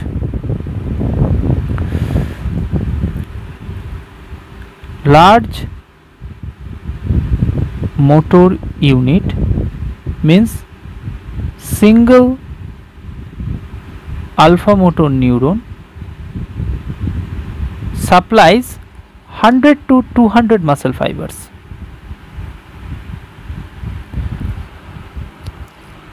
So this kind of muscle where the motor unit is large, it performs usually gross movements. Whereas in case of small motor unit,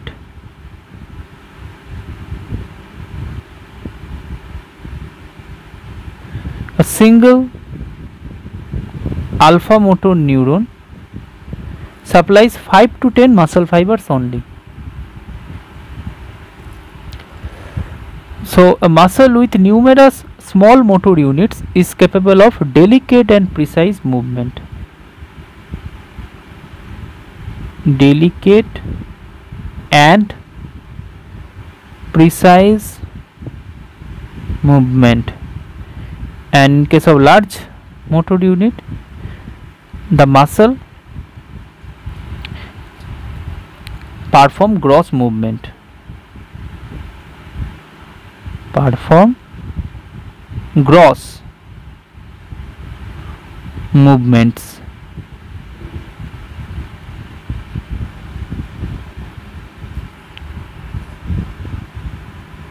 So that is the concept of large and small motor unit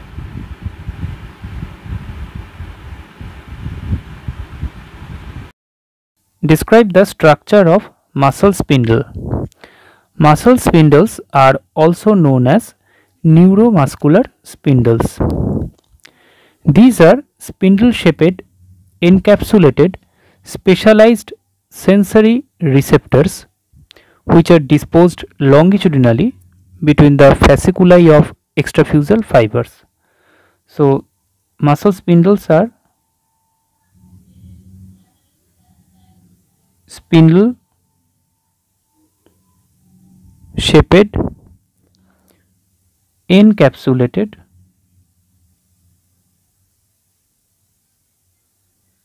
receptors.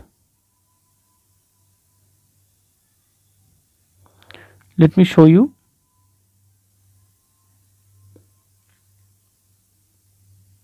This is the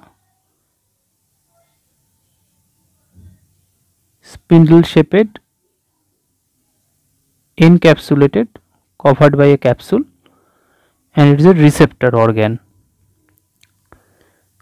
Spindle means a structure like this where the central part is expanded and peripheral portion is tapering. Now these receptors are disposed longitudinally longitudinally disposed between the extrafusal fibers of voluntary muscle. Now let me tell you that a skeletal muscle is made up of two types of fiber. The majority are the regular fibers which are the extrafusal fibers.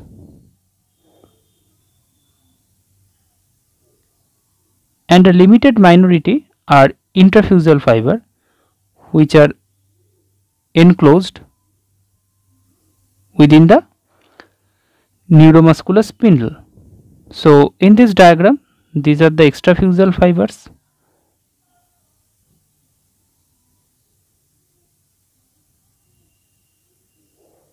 and these are the intrafusal fibers.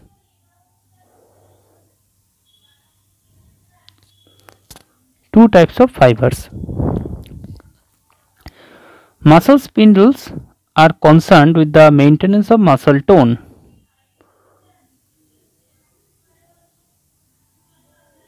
Muscle tone. It is maintained by the muscle spindle and they are mostly found near the myotendinous junction.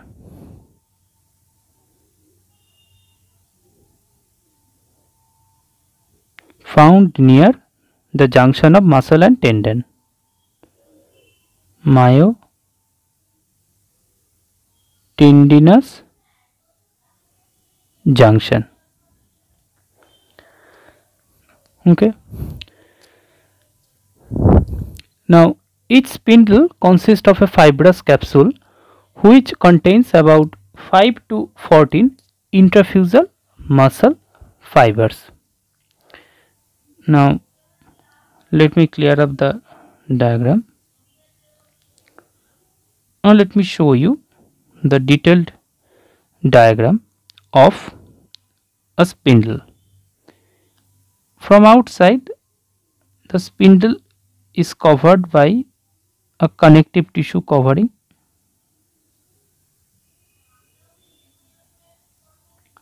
The covering is split in this diagram in order to show you the interior of the spindle. That is the capsule. The capsule is split longitudinally in order to show you the interior of the neuromuscular spindle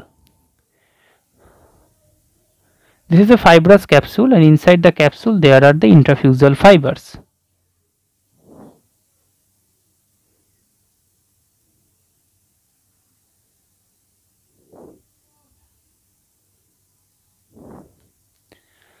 The intrafusal fibers are of two types one is the nuclear bag fiber another is the nuclear chain fiber.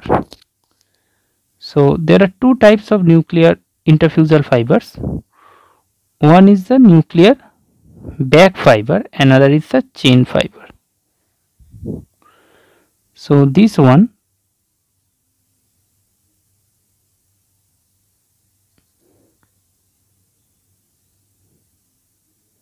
is the nuclear chain fiber.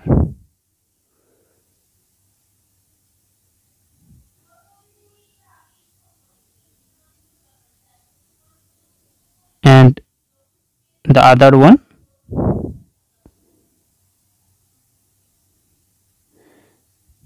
is the nuclear bag fiber.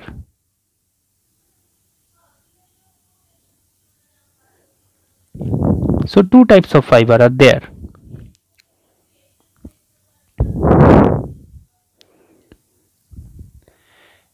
Now of the two types of fiber, both the two types of fiber possess a non-contractile equatorial region without striation and a contractile striated polar region.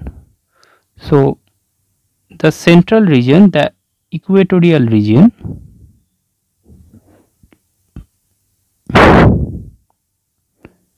that is the equatorial region non-contractile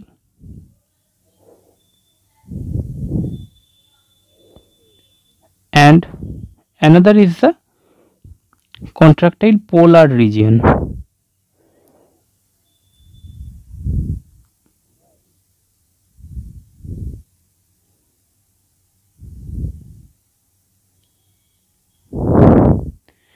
non-contractile region and contractile region.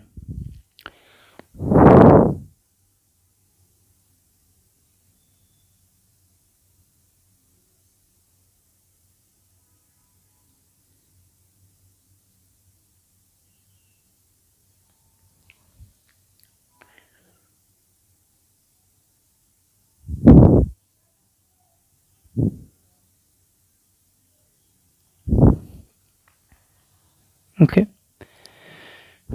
So the intrafusal fiber both of them have a non-contractile central equatorial region and a polar contractile region. The number of two type of fibers are however variable in in between different spindles. So each spindle contain different number of fibers the number of fibers are not static. Now the nuclear bag fibers,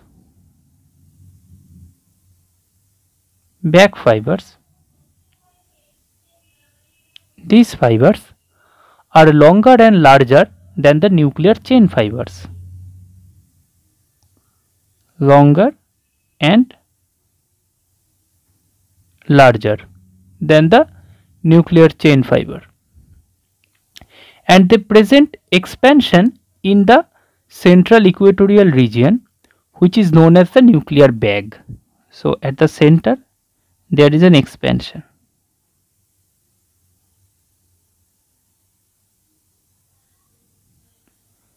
So expanded in the equatorial region.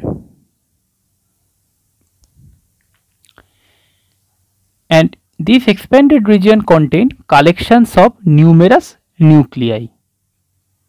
So numerous nuclei are there.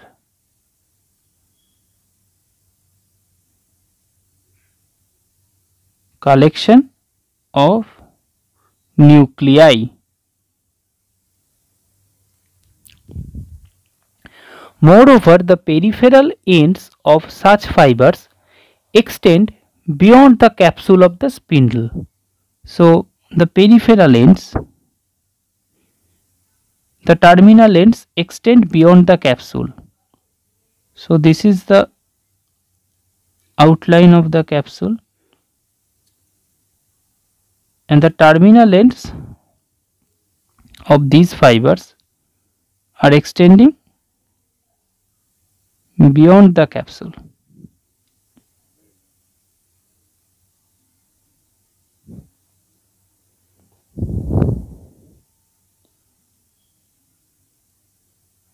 Terminal end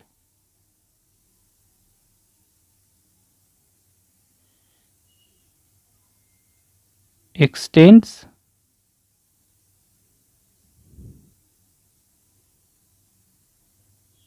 beyond capsule. Okay. Now compared to it the nuclear chain fibers are shorter and narrower. The other type that is the nuclear chain fiber this one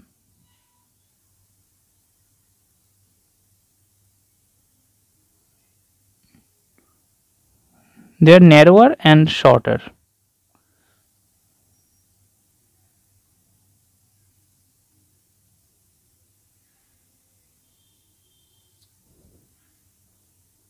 nuclear chain fiber narrower and shorter in dimension and they are confined within the spindle capsule. That means they don't extend beyond the capsule. And their central equatorial region contain a chain of nuclei in a single row. So the nuclei in the equatorial region are present in a single row.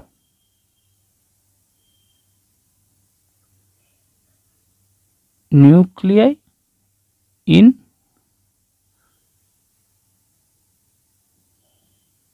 single row. Okay. Now coming to the innervation the nerve supply of such intrafusal fibers. The intrafusal fibers are innervated by both sensory and motor nerves. Nerve supply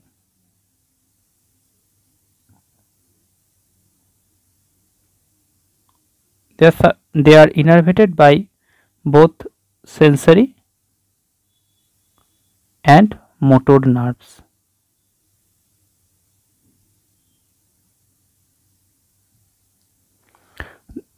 The sensory nerve terminals are of two varieties, annulospiral and flower spray. annulo spiral and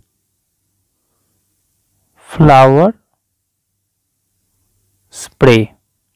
The annulospiral endings surround the equatorial regions of both nuclear bag and nuclear chain fibers.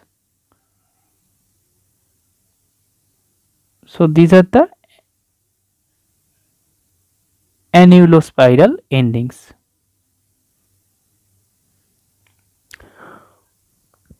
Whereas the flower spray endings wrap around the nuclear chain fibers and are distributed on one or both sides beyond the equatorial region. So, this is the flower spray which is seen mostly on the nuclear chain fiber on the polar region flower spray. So we get two types of sensory nerve endings annulospiral and flower spray. Now both the varieties of sensory endings they act as stretch receptors and they are stimulated when the intrafusal fibers are stretched now the motor fibers, the motor fibers are also known as the motor fibers. So motor fibers are known as the motor fibers supply the polar region of the intrafusal muscles and they are derived mostly from the gamma motor neurons. So these are the sorry These are the gamma motor neuron supplying the polar ends of the intrafusal fibers.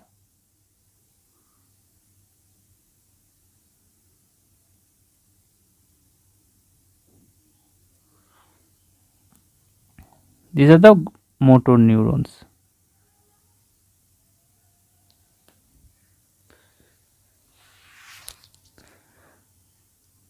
so the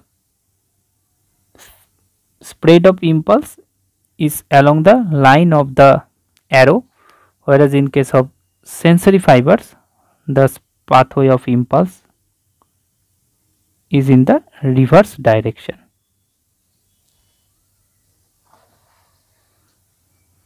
So that is the mode of nerve supply of the muscle spindle.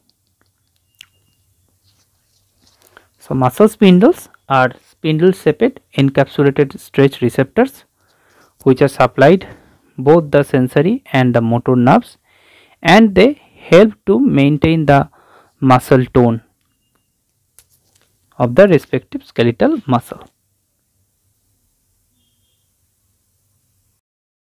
What are the three principal types of muscle?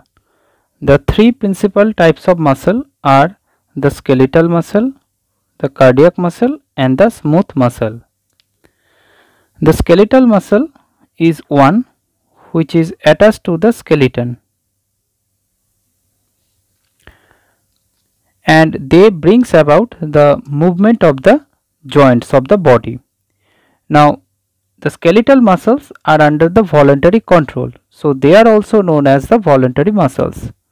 So the first category the skeletal or voluntary and these muscles are also very prominently striped that means there is presence of alternate light and dark band in preparations with hematoxylin eosin and with other stains.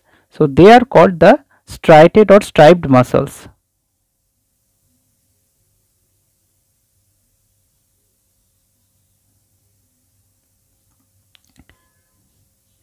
Next is the cardiac muscle. Cardiac muscle forms the myocardium of the heart. So, cardiac muscle is exclusively present in the heart and makes the heart beat for the whole of the life. And last but not the least, it is the smooth muscle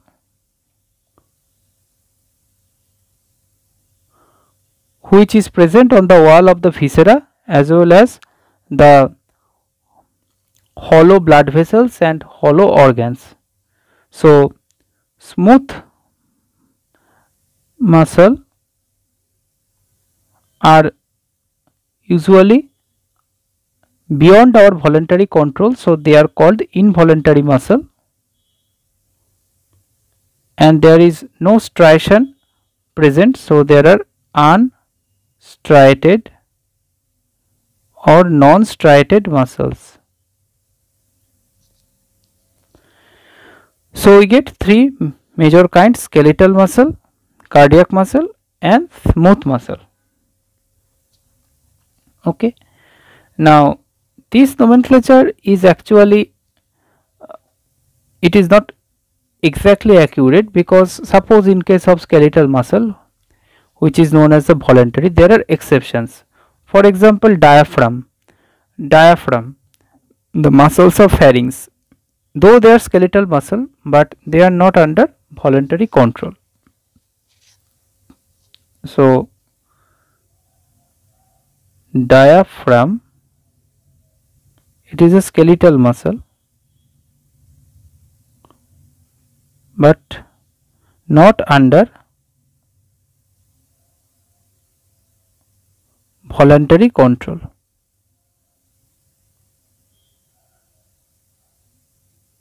So that is an exception to the general rule of skeletal muscle which are in general voluntary.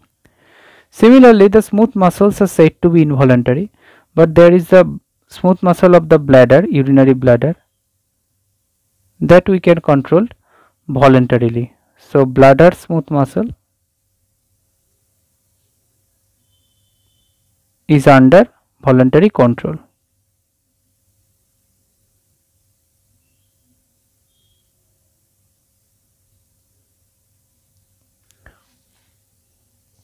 With such few exceptions.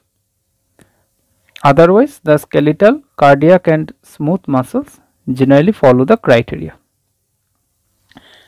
Now the differences between the skeletal, cardiac and smooth muscles. What is the difference?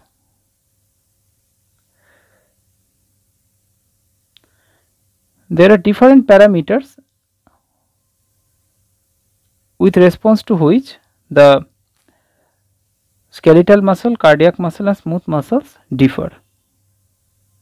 So, skeletal muscle, cardiac muscle and smooth muscle. The first is the muscle fiber. The muscle fiber in the skeletal muscle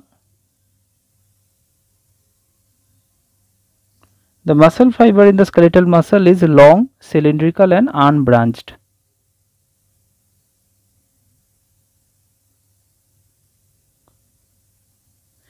In cardiac muscle they are short, short cylindrical and branched.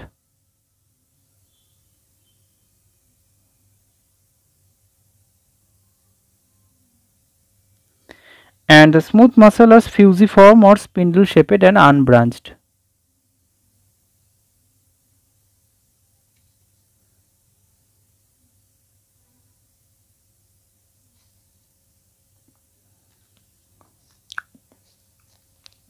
So, skeletal, cardiac and smooth muscle. Next, the control of skeletal muscle is voluntary. Generally, it is voluntary cardiac muscle involuntary smooth muscle same involuntary. Location skeletal muscle muscles of skeleton tongue esophagus diaphragm. Cardiac muscle it is located in the heart.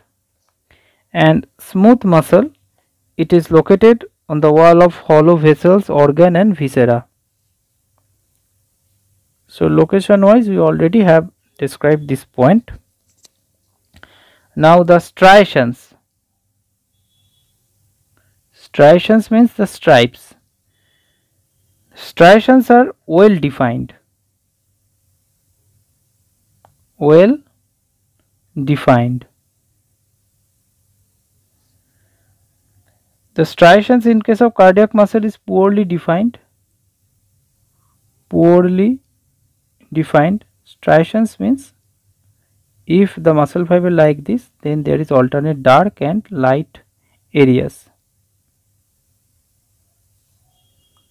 In cardiac muscle fiber the striations are poorly defined. Striations and in case of smooth muscle there is no striation is present. So, striation is absent in case of smooth muscle. Okay.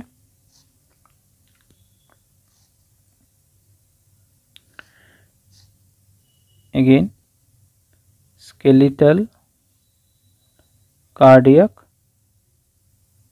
smooth. Next point the nuclei In the skeletal muscle, there are multiple peripheral nuclei. Multiple peripheral nuclei along the length of the fiber. In cardiac muscle, nucleus is single oval and present in center.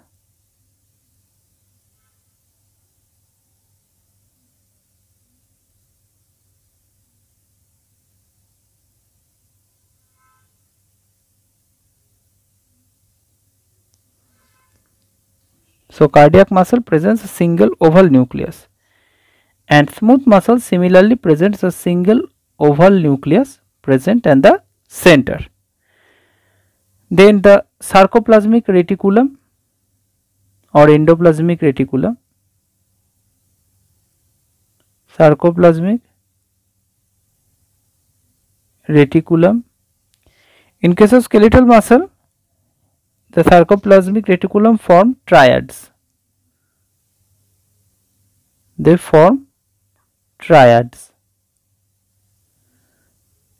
a specific formation where three tubes come together to surround each myofibril. It is called triad. In case of cardiac muscle, the sarcoplasmic reticulum is present and form dyad. But in smooth muscle, the sarcoplasmic reticulum is absent. Intercalated disc. Intercalated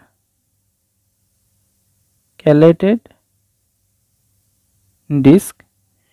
It is absent in skeletal muscle. Present in cardiac muscle intercalated discs actually they are structures present at the junction of two consecutive cardiac myocytes. So this is an intercalated disc this is another intercalated disc so intercalated disc is present in cardiac muscle but absent in smooth muscle. Then the regeneration after injury regeneration after injury in skeletal muscle it is seen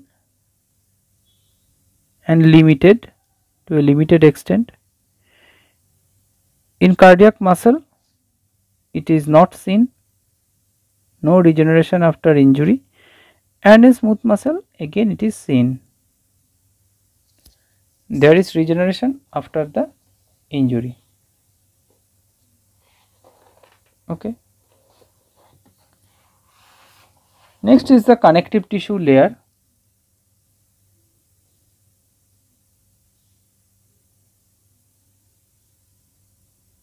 skeletal, cardiac, smooth. The connective tissue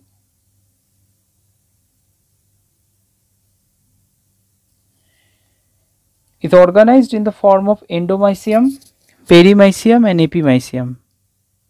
Endomysium, perimysium and epimysium. Whereas in cardiac muscle the connective tissue is organized in the form of endomysium only. Same is true for the smooth muscle as well, only endomysium.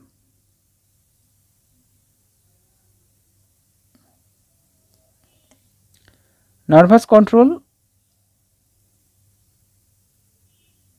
in case of skeletal muscle, it is the somatic nervous system, it is controlled by the somatic nervous system.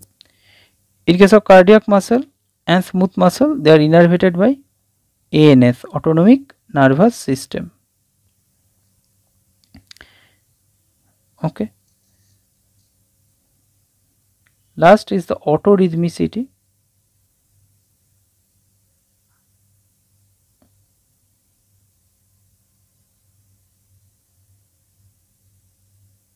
not seen in the skeletal muscle.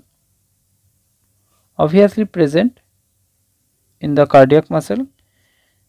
And in case of smooth muscle present only in the smooth muscle of viscera only in smooth muscle of viscera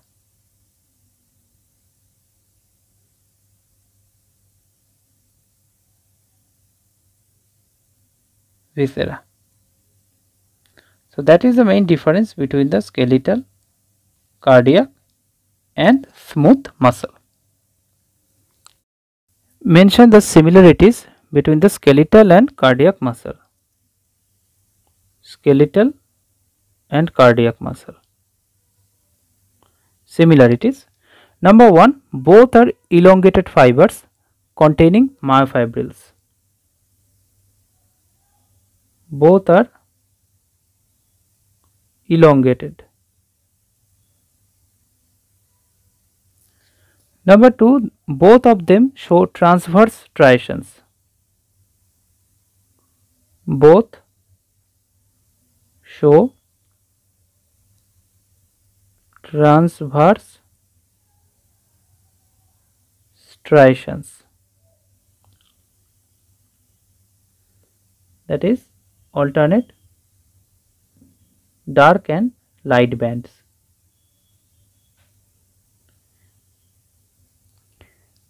Then structure of myofibril is same in both these fibers.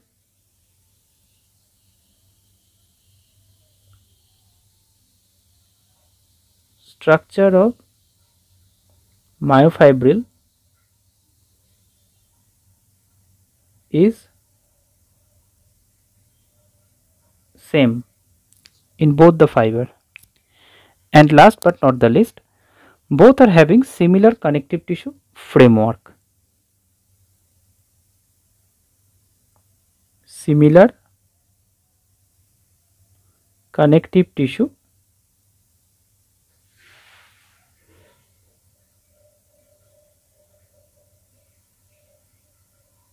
framework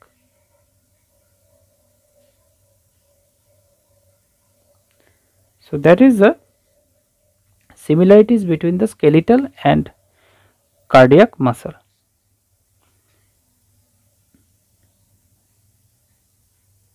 Next is what is the similarities between the cardiac muscle and smooth muscle. The similarities are between the cardiac muscle and smooth muscle Number 1 both are involuntary.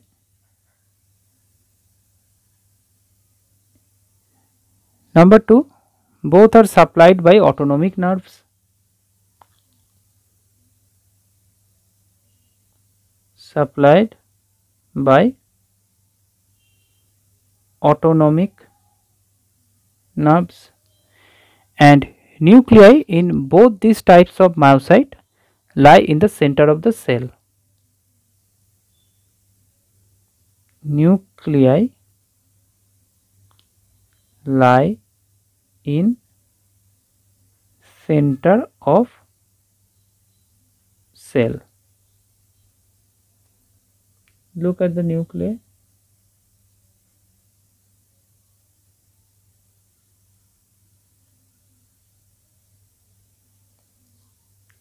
so these are the similarities between the smooth and cardiac muscles. Okay.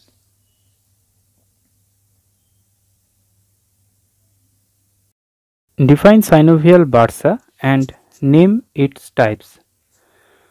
A synovial bursa is a closed sac filled with lubricating fluid which is known as the synovial fluid and it resembles the size and shape of a coin. So a synovial bursa is basically a fluid filled sac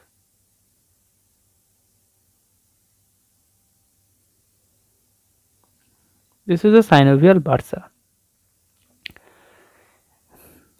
when a tendon glides over a bone or ligament for example in the diagram let's take this tendon.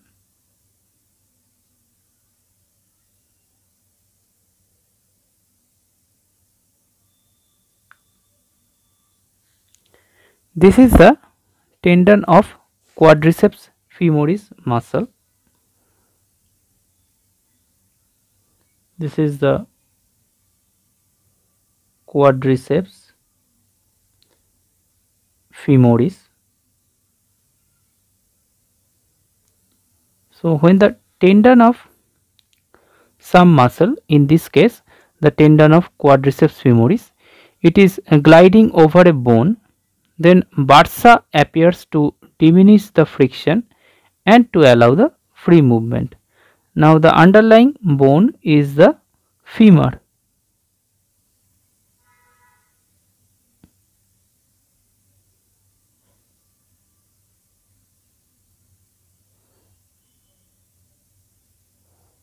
So this bone underlying the tendon of quadriceps femoris is known as the femur. So when the quadriceps femoris is trying to glide over the femur, then the bursa intervene between them.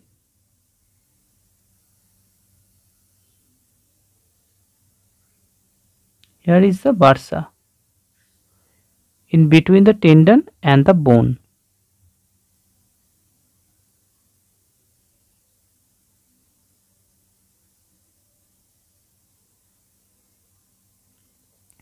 And it acts as a lubricating device to reduce the friction.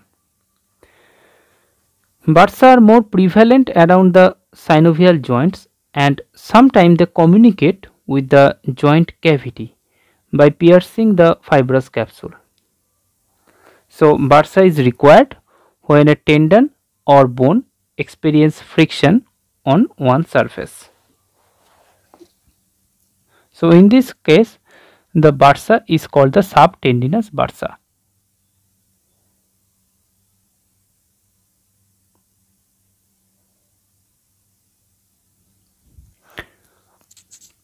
Similarly, we also get other kinds of bursa as well. So, synovial bursa, synovial bursa, it may be subtendinous which intervenes between the tendon and the bone as showed previously.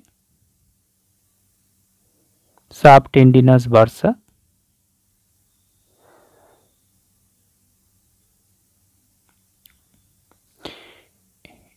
It may be subcutaneous bursa as well which appear between the skin and a bony prominence.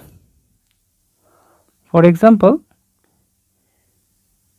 here is the skin and here is the bone that is the patella. There is the skin of knee. Now in between them there is the intervening bursa prepatellar bursa. So it is called the subcutaneous bursa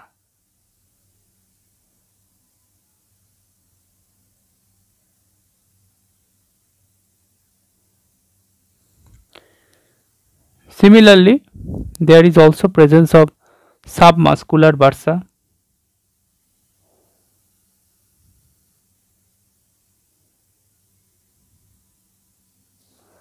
Subfascial bursa lies deep to the fascia.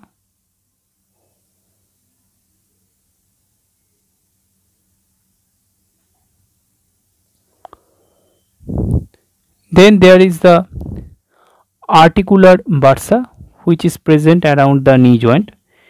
In the above shown diagram, all the bursa which are present are actually is present around the knee joint.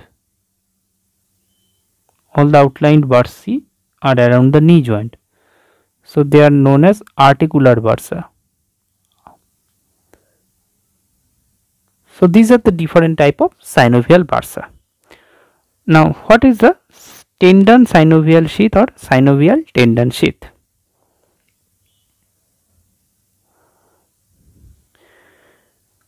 When a tendon passes through an osseofibrous canal, suppose this is the tendon that is passing through an osseofibrous tunnel, it is enveloped by a bilaminar tubular bursa. So, this tendon is covered by a bilaminar tubular bursa. This bursa is oriented like a tubular covering and it is bilaminar that means it is having two layers.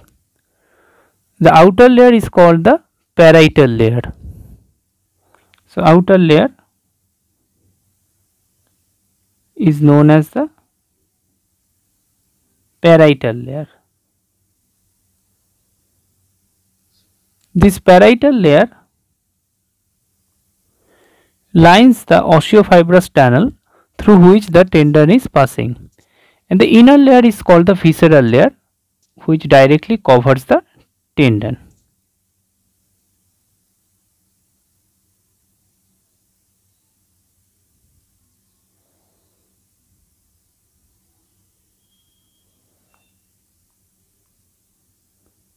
Visceral layer or inner layer parietal layer or outer layer both the layers are continuous with each other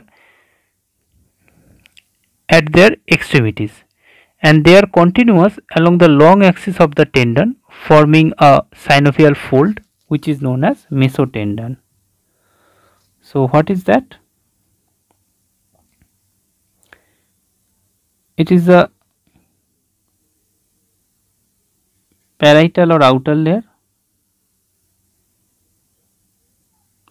and this is the inner layer or the visceral layer. The visceral layer covers the tendon. Now the continuity between the two layers is along a synovial fold. This is known as mesotendon.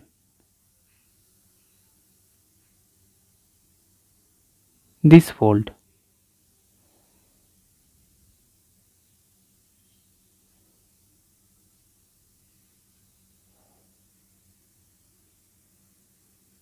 This is known as the mesotendon.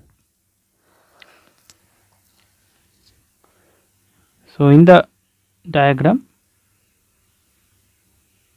this is the mesotendon and this mesotendon provide the blood vessel to the tendon. Look at the blood vessel. The fine branches are passing from the main vessel via the mesotendon into the tendon.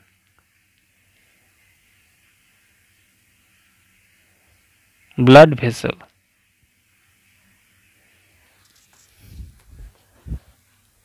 Okay. Now, this sort of uh, tendon synovial sheath or synovial tendon sheath are seen in the area of the fingers where the flexor tendon passes through the osteofibrous tunnel within the fingers. These tubular sheath are called the digital synovial sheaths. You see the tubular sheaths around the flexor tendons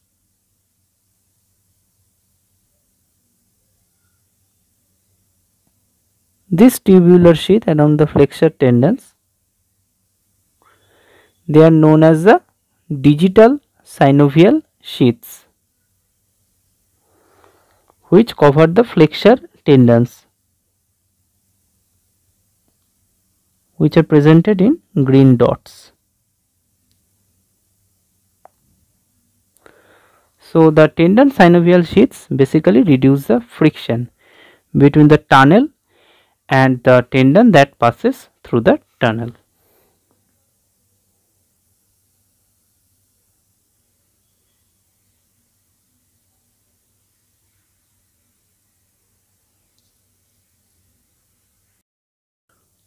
What is prime mover, antagonist and synergist muscle? A prime mover is one which brings about a desirable movement.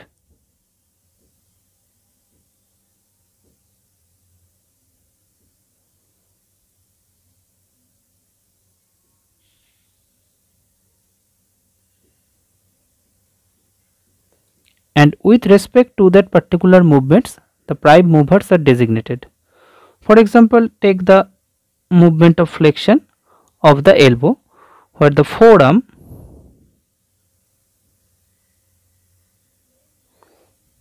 is bending towards the arm. So forearm is bending towards the arm. In this movement, I mean in case of flexion of the elbow joint,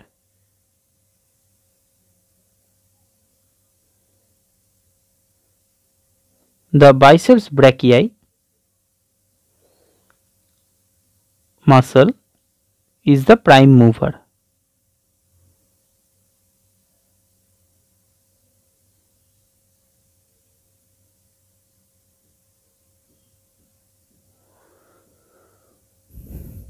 Now what is a synergist muscle? Synergists are those muscle which assist the prime mover and aid in the movement that is brought about by them.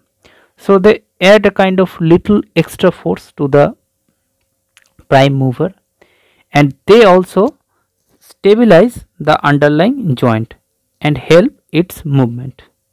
For example, if we dissect the bicep brachii, if we cut the biceps brachii, we will see that deep to it there is a muscle which is called brachialis and this brachialis also helps in the flexion of elbow by assisting the action of biceps brachii. So, with respect to the flexion of elbow, the brachialis is a synergist.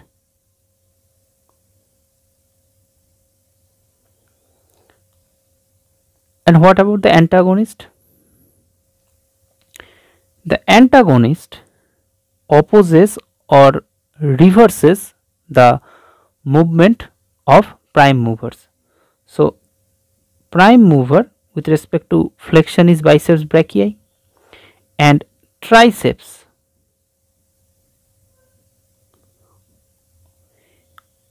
it opposes or reverses the function of the biceps. So, whenever triceps is contracted the flexed elbow is extended or straightened up. So, triceps is the antagonist antagonist that means it opposes or reverses the action of prime movers.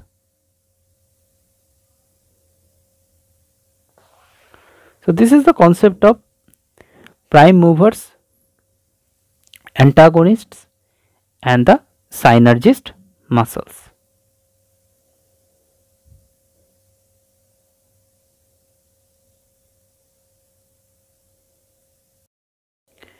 Narrate the classification of skeletal muscles. Classification of skeletal or voluntary muscles are done according to various parameters. First of all, according to the color.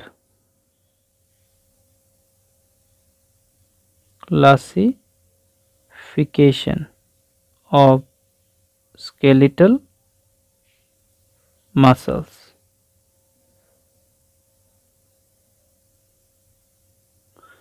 First of all, according to color. There are two of them red and white.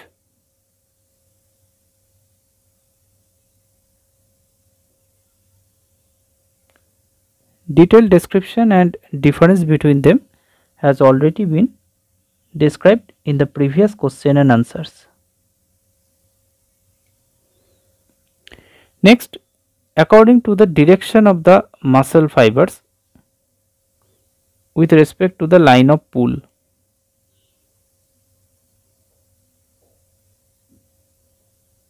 According to the direction of muscle fibers with respect to line of pull.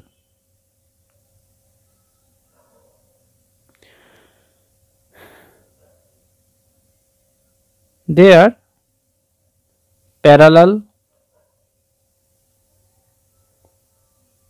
pennate,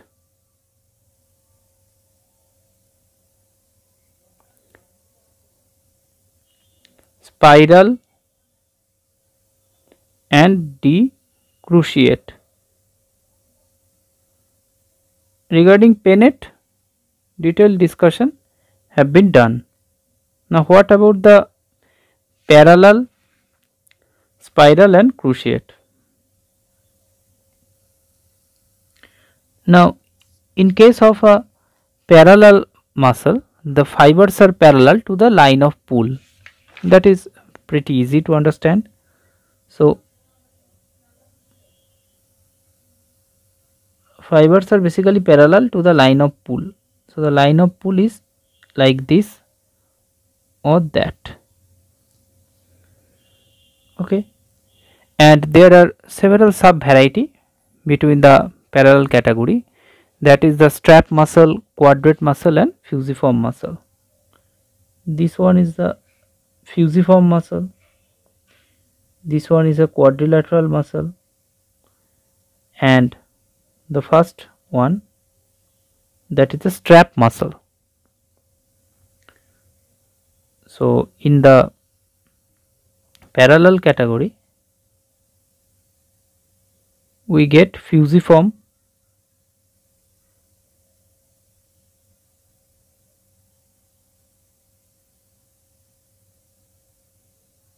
That is a fusiform. Number 2 quadrate.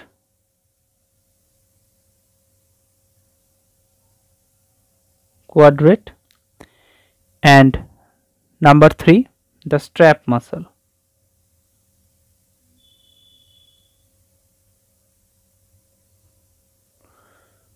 the fusiform muscle is the biceps brachii muscle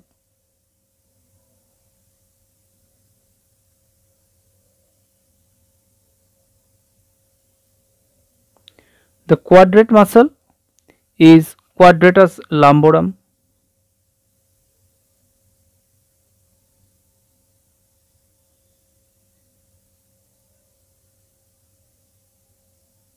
And the strap muscle is exemplified by sartorius.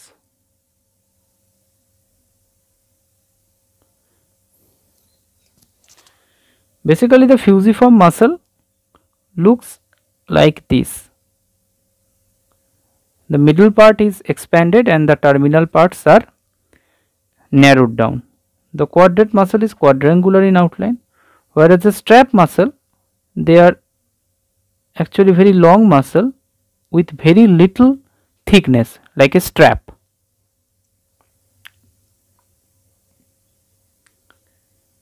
So that is about the parallel muscles. Pennate has already been described in detail and the last two are the spiral and cruciate. So what about the spiral and what about the cruciate? Now spiral muscles are those which are twisted close to their insertion. Their end of insertion is twisted. So let's see. Now there is such a twisted muscle in the diagram. You can see near the insertional end it is twisted.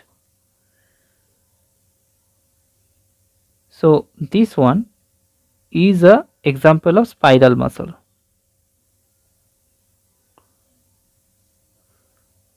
For example, the latissimus dorsi, for example, the pectoralis major, all are twisted near their insertion. Pectoralis major latissimus dorsi twisted and what about the cruciate muscle the cruciate muscle are those muscle where the muscle fibers are arranged in superficial and deep planes and these these are crossing like the alphabet X. So cruciate means X shaped arrangement of muscle fibers. The superficial and deep plane of fibers they cross like X. Example the masseter muscle and the sternocleidomastoid.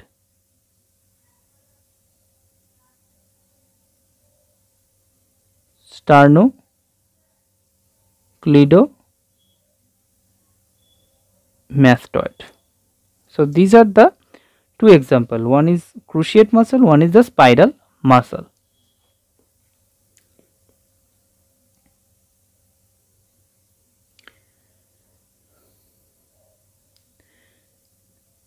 So we have got the classification according to color and according to the direction of the muscle fiber with respect to the muscle pool. The next category of classification is number C according to force of actions force of action and that is the shunt muscle and spurt muscle. 2. Shunt and spurt. So, according to the color A, according to color red white according to direction of fiber parallel pinnate cruciate and spiral and last but not the least according to the force of action shunt muscle and spurt muscle. So, that is in brief the classification of skeletal muscle with respect to different parameters.